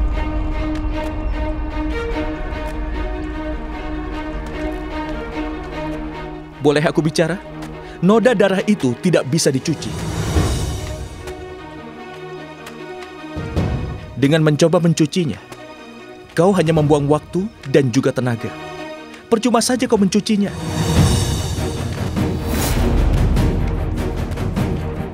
Cuci saja dengan air, lalu langsung jemur. Kau tidak perlu bekerja terlalu keras.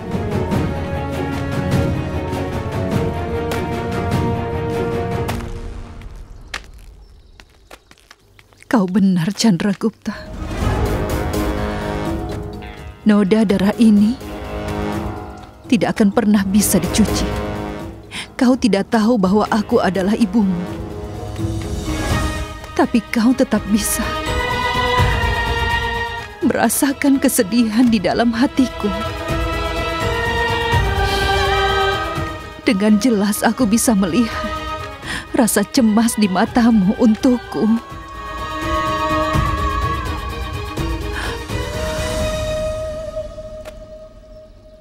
Dan dengan mataku, suatu hari nanti aku akan menyaksikan kekalahan Danananda.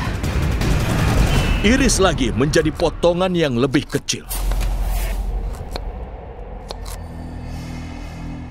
Lebih kecil lagi. Lebih kecil lagi.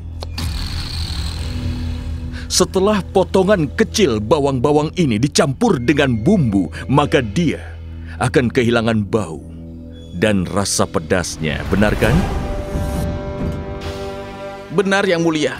Karena itulah kami berusaha memastikan bawang ini tidak dicincang halus agar tidak kehilangan rasa dan juga aromanya yang mulia. Bagus. Apa yang kau pelajari dari sini, Amatya? Kita tahu yang mulia bahwa Selesih akan selalu menyerang diam-diam agar kita tidak bisa menyadarinya. Jika serangannya besar, itu akan meninggalkan bukti dan petunjuk. Musuh pun akan terungkap. Jika serangannya dilakukan kecil-kecilan, misalnya protes yang dilakukan oleh petani, kita tidak akan mengira itu ulah musuh, tapi dengan melakukannya, ketenaran dan reputasimu akan ternoda, dan nama Selesi juga akan terungkap. Bagus. Luar biasa. Petani yang menghentikan Durdara adalah seorang petani bawang, bukan? Benar, Maharaja.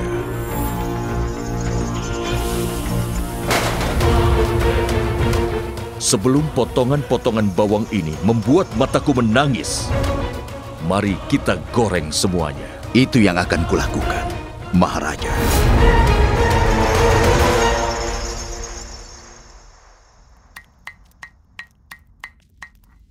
Seorang anak biasa yang bahkan belum dewasa, dia lebih dihormati oleh Maharaja dibandingkan dirimu. Padahal yang sebenarnya kau telah menjadi pengawalku selama lima tahun. Anak itu akan merebut kehormatanmu.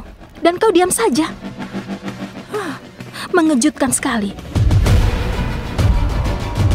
Apakah keberanian dan harga dirimu tidak menolaknya sama sekali?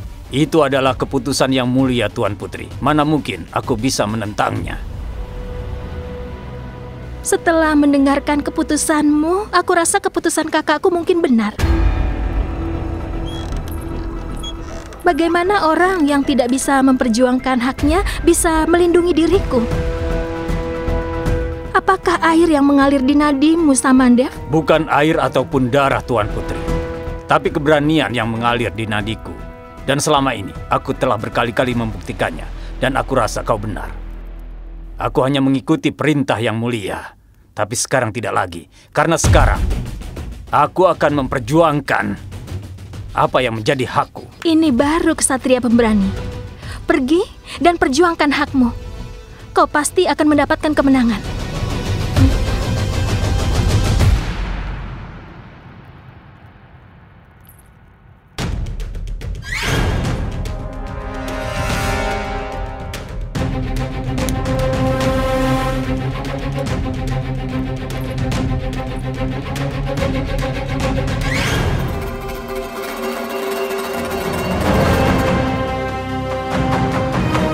Kenapa kau melakukan ini, Putri?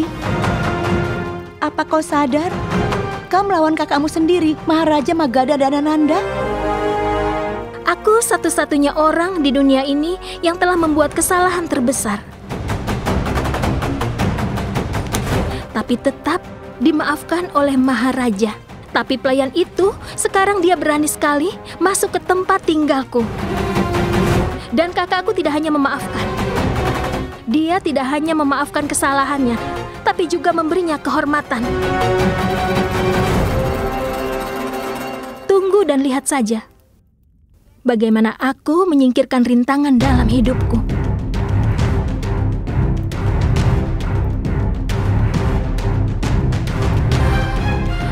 Menakjubkan. Apa kau melihat lukisanku? Adakah yang lebih cantik dariku di dunia ini?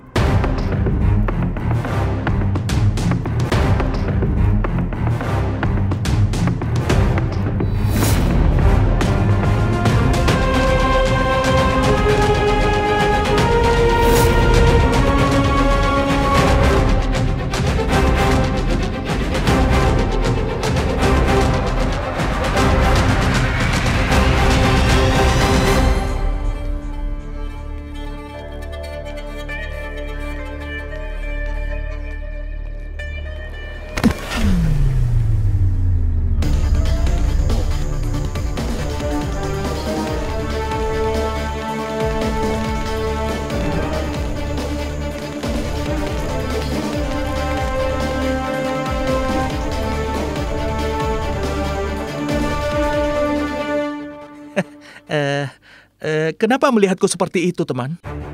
Aku ini pengawal pribadi Tuan Putri Durdara. Apa kau tidak tahu? Saat ini aku sedang bertugas. Ya, aku tahu. Tapi pasti kau tidak tahu bahwa aku adalah pengawal lama dari Tuan Putri. Ah, benarkah? Senang bisa bertemu denganmu. Boleh aku pergi? Kau boleh pergi. Tapi sebelum itu, ambilkan dulu semua pedang kami.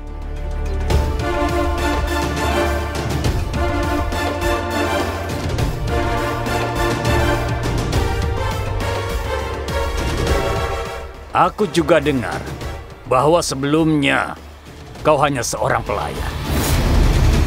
Dan pastinya kau pandai menuruti perintah.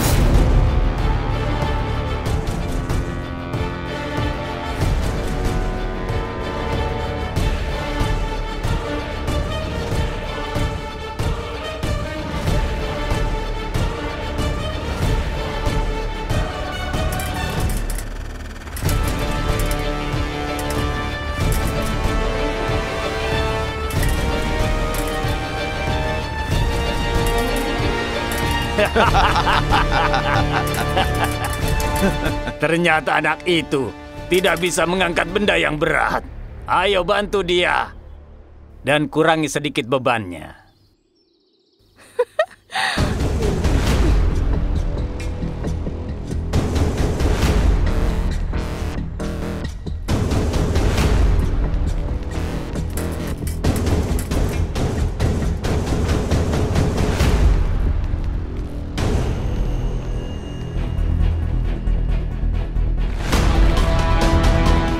Jika kau ingin masuk ke istana, kau harus mengalahkan aku dulu.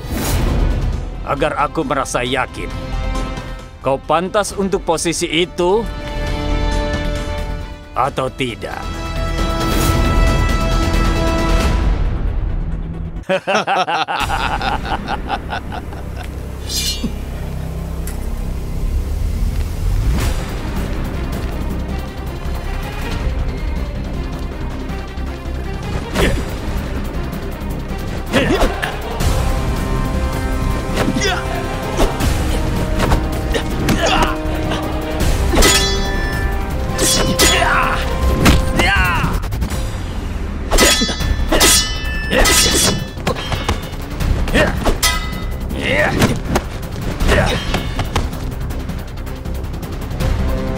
Kalian semua membuat kesalahan.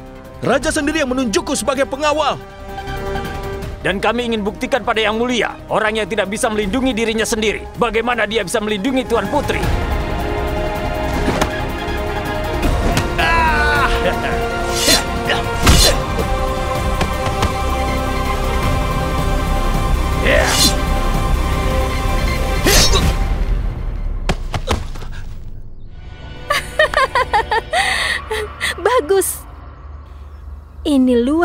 Luar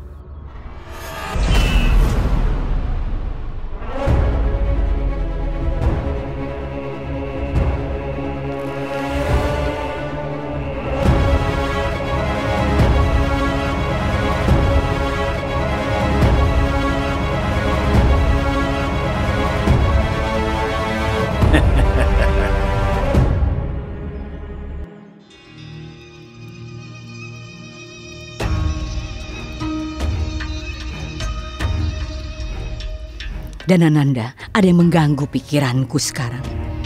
Dan itu berkaitan dengan Durdara. Ada apa dengan adikku? Keselamatan Durdara adalah tugas terpenting di seluruh Magada ini. Tapi kau malah memberikan tugas itu kepada seorang anak kecil. Kepada pelayan yang tidak berpengalaman sama sekali. Dia bahkan tidak bisa menggunakan pedang. Kau benar, dia belum bisa memakai pedang, tapi anak itu lebih tajam dari sebuah pedang.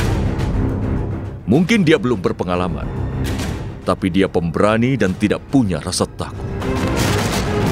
Dia biasa saja, tapi semangatnya luar biasa. Ketika dia menjadi agresif, dia tidak bisa berjalan. Dia terbang.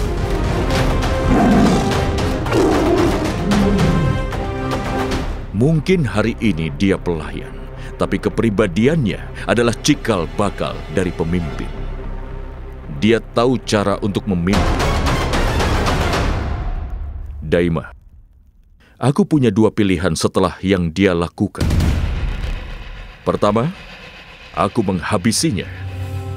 Tapi jika itu kulakukan, maka bakat dan kepahlawanannya akan sia-sia.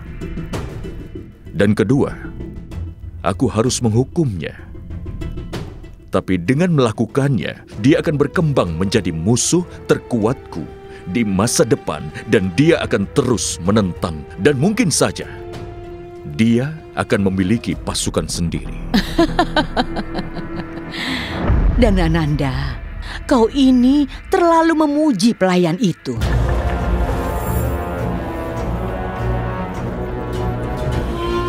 Inilah perbedaan antara aku dan dirimu, Daima. Ramalan masa depan. Kau tidak punya kemampuan untuk menghitung masa depan seperti diriku. Karena itulah aku ada di atas dan kau di bawah kakiku.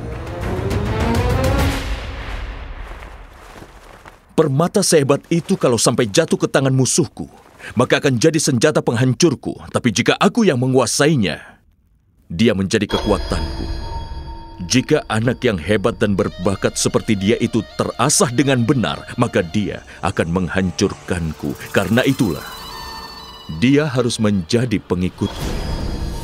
Dia akan terus bertarung, tapi dia akan melakukannya untukku. Dan aku sendirilah yang harus mengawasi anak ini dan membuatnya terus berada di dekatku. Dan itu karena yang dipakai di dada itu perisai, bukan pedang. Jika aku yang membimbing anak itu, dia akan menjadi jimat penjagaku. Tapi jika orang lain yang membimbingnya, maka dia akan menjadi pencabut nyawaku.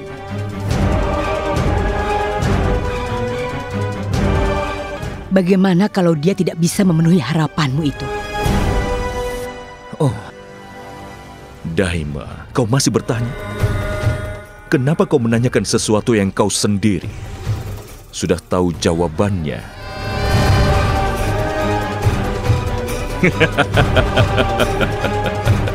kau tidak perlu mencemaskan apa yang belum terjadi. Anak itu pasti bisa mengatasi semua halangan yang dia hadapi dan akan mendapatkan cara untuk menyelesaikannya.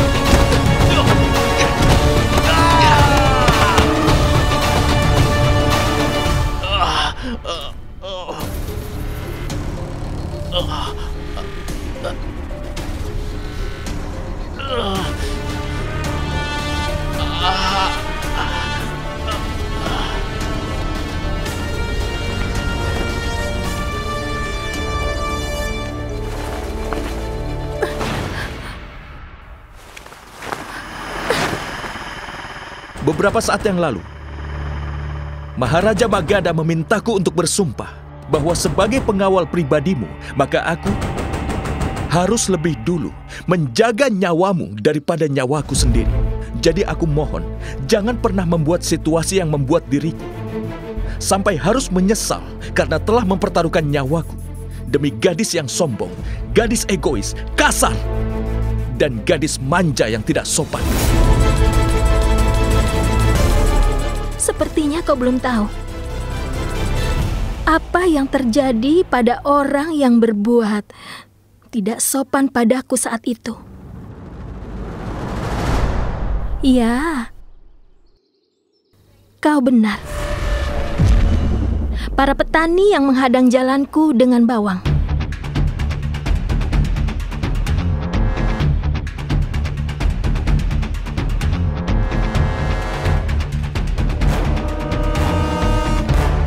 Aku mohon maafkan putraku, aku mohon. Oh, tolong lepaskan dia, jangan habisi dia. Aku mohon, jangan hukum dia.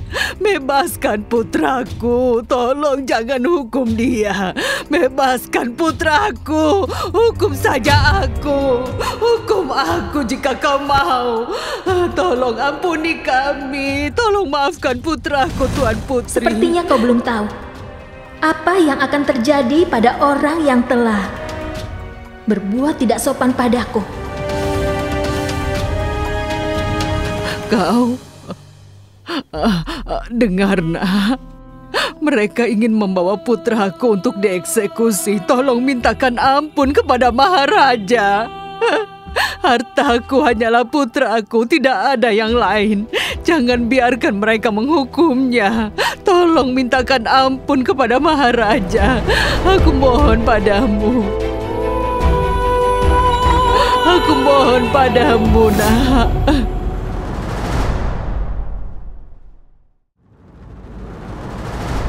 Selalu berkata jujur, jalani hidup sederhana, kau pasti terus mendengarnya sejak kecil. Tapi aku ingin menambahkan, selain menjalankan hidup sederhana, kau juga harus berhati-hati. Harus waspada.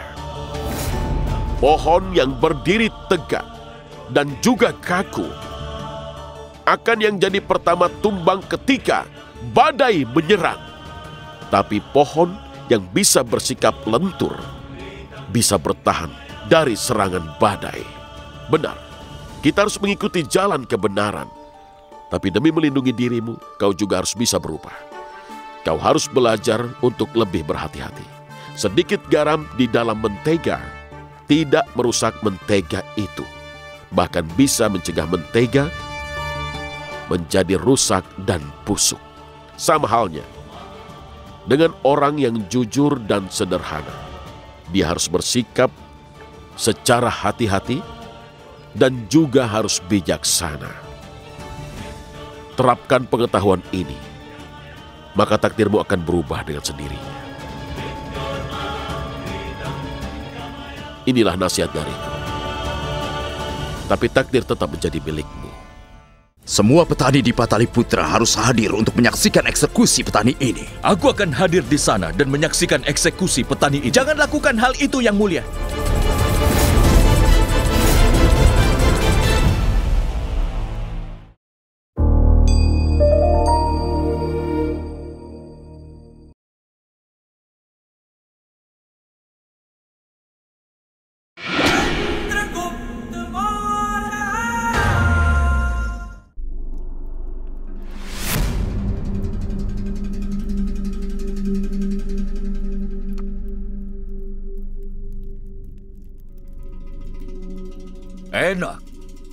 Masakannya lezat sekali. Kau harus pastikan, Badrasal. Semua petani Patali Putra akan menyaksikan eksekusi petani itu. Agar tidak ada yang berani menentang Raja dan Magada. Tentu saja, Amat ya. laksanakan perintah.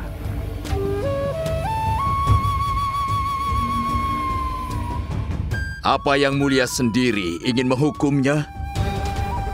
Tidak. Tapi tetap saja beritahukan padanya bahwa aku makan bawang dari ladangnya. Sampaikan terima kasihku kepada petani itu. Baik, Yang Mulia. Jangan lakukan itu, Yang Mulia.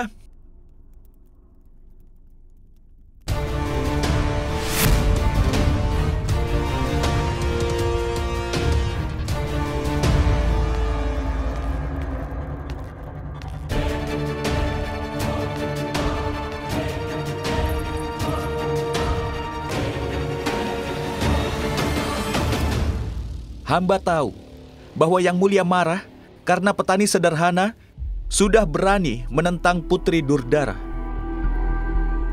Tetapi petani malang itu tidak punya pilihan lain.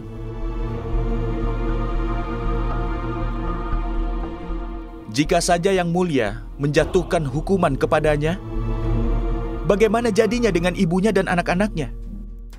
Mereka pasti akan tiada kelaparan.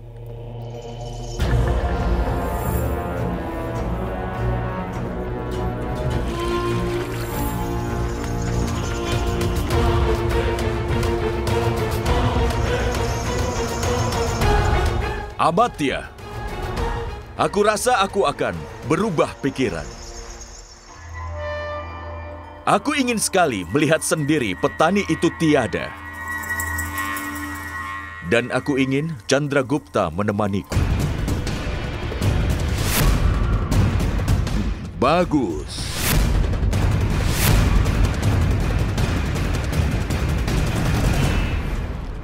Ampuni hamba Tuhan, ampuni hamba karena marah hamba bersalah. Ampuni hamba, ampuni hamba Tuhan.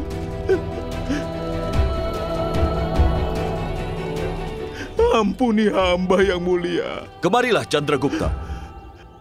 Lihatlah apa yang terjadi padanya setelah aku berikan tanda.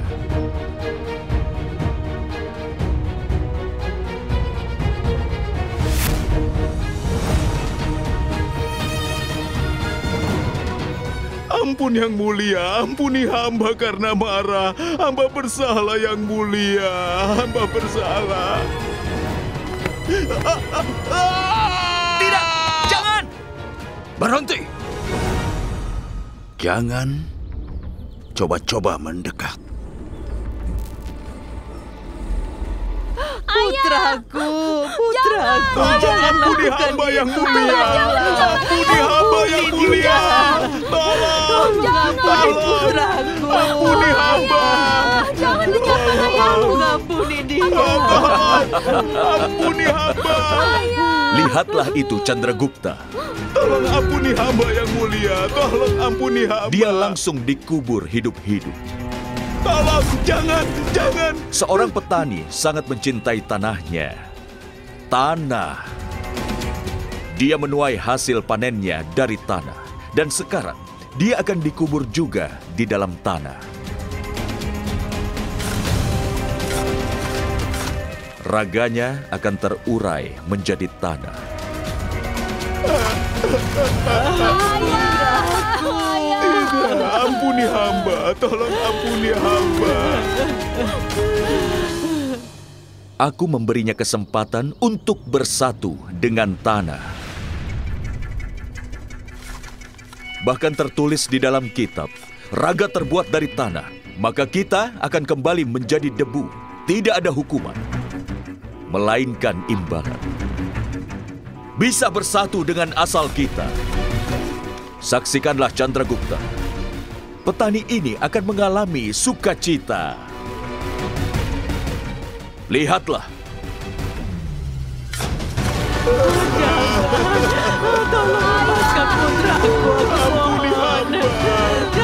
putraku. Hamba. Putraku.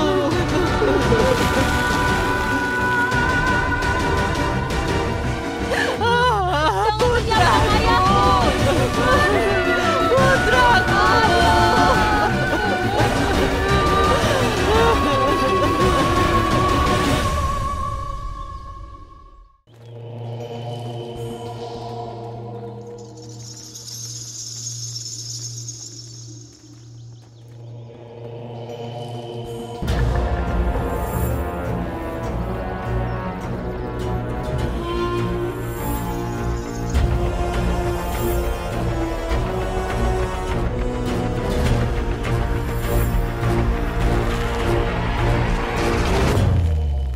petani membajak tanah, tapi petani ini bahkan rela memberikan raganya bagi tanah ini.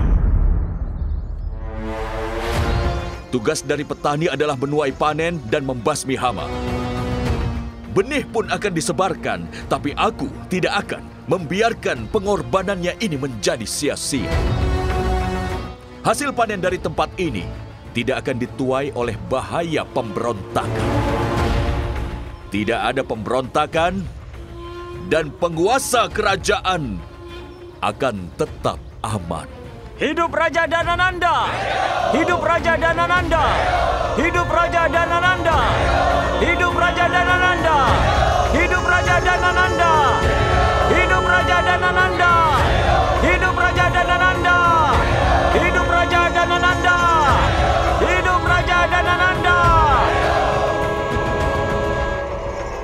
Aku sangat membenci pemberontakan dan para pemberontak Chandragupta. Karena itulah, jangan pernah sekalipun kau berani memberontak. Aku sangat menyukaimu dan aku tidak suka kalau harus mengorbankan sesuatu yang sangat kusukai.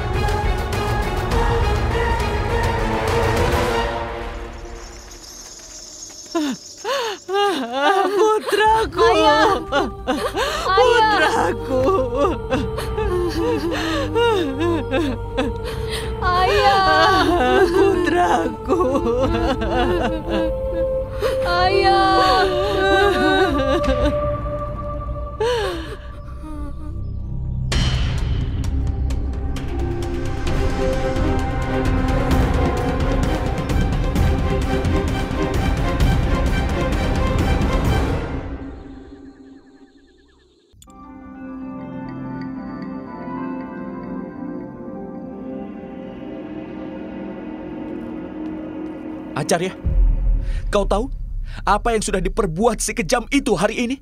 Dia mengubur petani itu hidup-hidup. Petani itu hanya meminta harga yang pantas untuk panennya. Dia hanya menginginkan keadilan.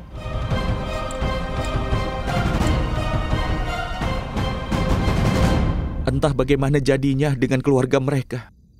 Pada ibunya yang sudah tua dan anaknya yang masih bergantung pada ayahnya.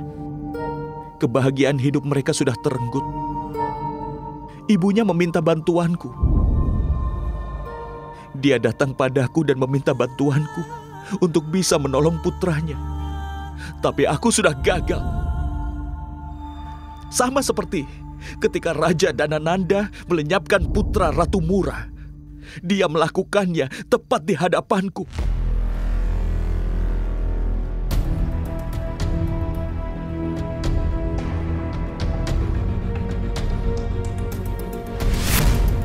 Kenapa? Acarya, kenapa kau diam saja? Kau sering kali bicara tentang hal yang besar, cinta pada tanah air, tentang India yang bersatu, ataupun pemberontakan. Kau tidak marah mendengar kematian petani itu?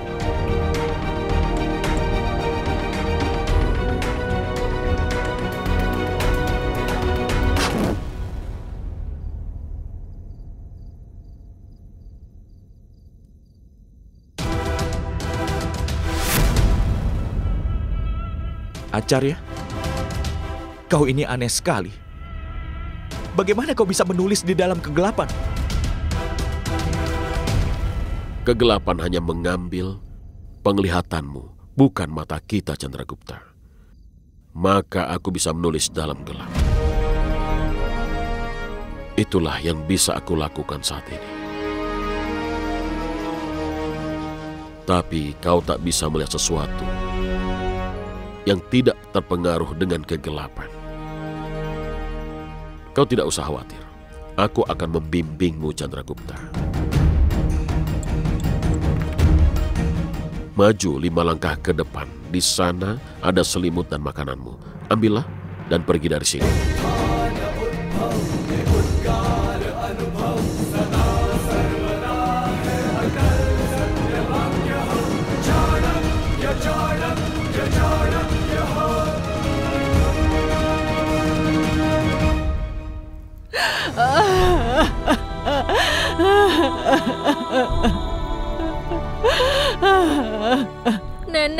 Aku, aku lapar. Maafkan nenek. Malam ini kau tidak bisa makan apa pun. Nah, maafkan nenek ya. Tidak ada yang akan kelaparan. Kau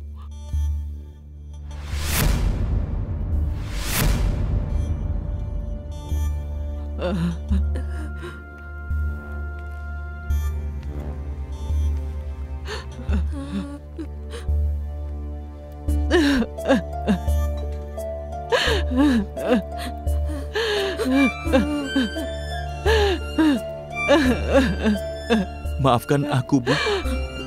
Aku tidak bisa menolong putramu dari kekejaman raja.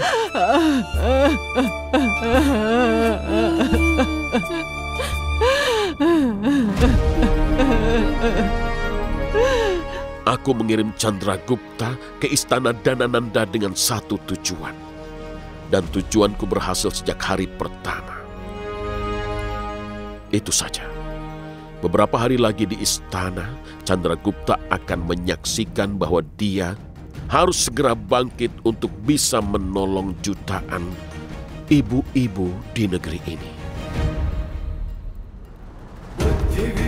Demi menjadi penyelamat jutaan ibu di negeri ini, maka dia harus buktikan jika dia pantas bagi tanah airnya. Pertama-tama, dia harus melindungi tanah airnya sebelum melakukan hal yang lain.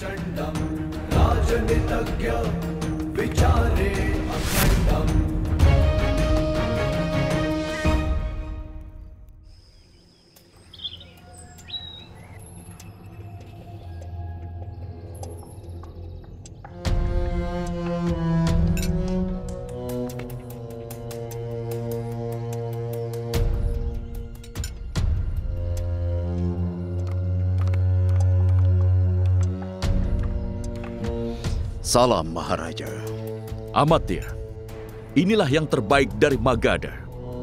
Jadi, katakan, yang mana anggur yang harus kusajikan untuk tamu istimewa kita?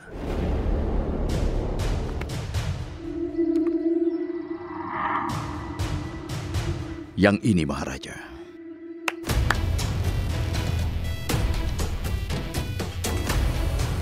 Bagaimana anggur yang baru saja kau cicipi itu? Apa cocok untuk disajikan pada Selesi? Selesi. Tapi dia tersangka di balik serangan pada Durdara. Mata-mata hamba sudah mengawasinya dengan ketat. Tapi kita masih belum menemukan bukti yang kuat tentang itu. Karena itulah, aku memutuskan bahwa aku akan mengundang Selesi dan dia akan disambut dengan meriah. Sambutan megah yang paling meriah yang pernah ada di sini. Hamba tidak mengerti. Kau tidak usah memikirkan hal itu. Muslihat untuk menghadapi Selesi sangat aman berada di kepalaku. Kau hanya harus memastikan bahwa tidak ada yang mengetahui tentang hal ini di istana kita. Dan semua orang harus bersiap menyambutnya. Hamba akan laksanakan.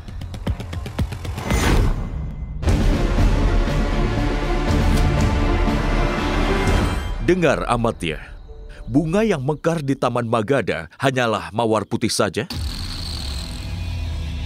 Aku melihatnya dari pagi. Para penghuni istana memegang setangkai mawar putih. Apa maksud dari semua ini? Ini tanda kesetiaan pada Yang Mulia. Setelah menyaksikan petani itu dieksekusi, mereka semakin takut pada Yang Mulia. Maka mereka memberikan mawar putih pada patung Yang Mulia demi menunjukkan kesetiaan pada Yang Mulia.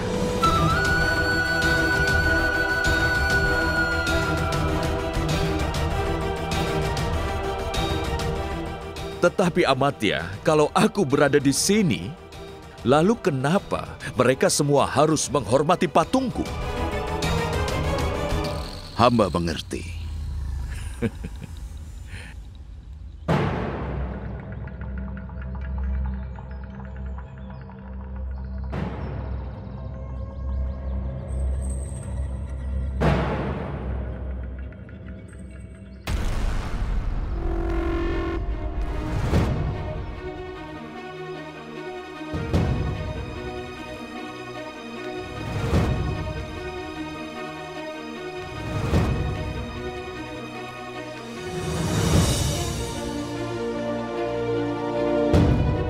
Inilah sebabnya aku sangat menyukaimu.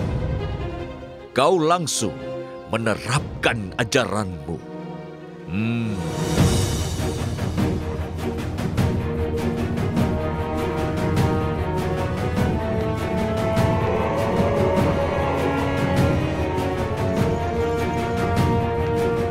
Tidak seperti orang lain yang sudah gagal memahami bahkan setelah dia disiksa berulang kali.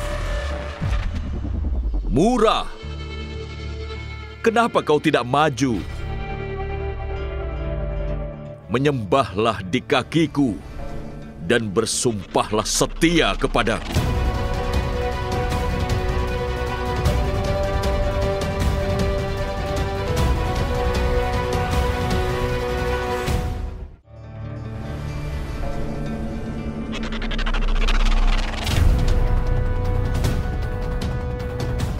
Lihat itu, dia menunduk.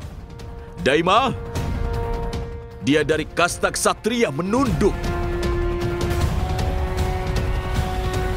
Mungkin saja martabatnya dan keangkuhannya itu sudah tiada bersama dengan putranya.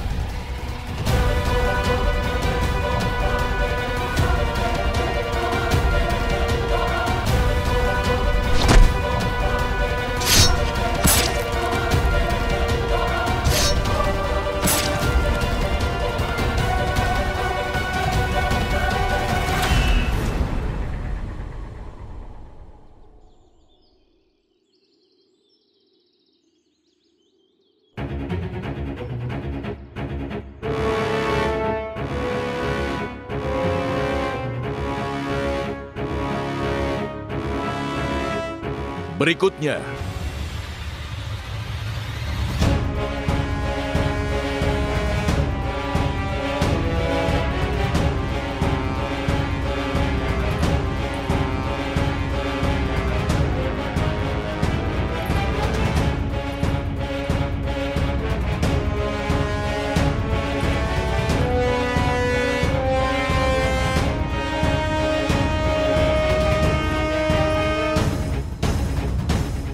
Danananda pasti tidak akan mengampuninya begitu saja. Dia pasti akan menghukum ibu pemberani itu.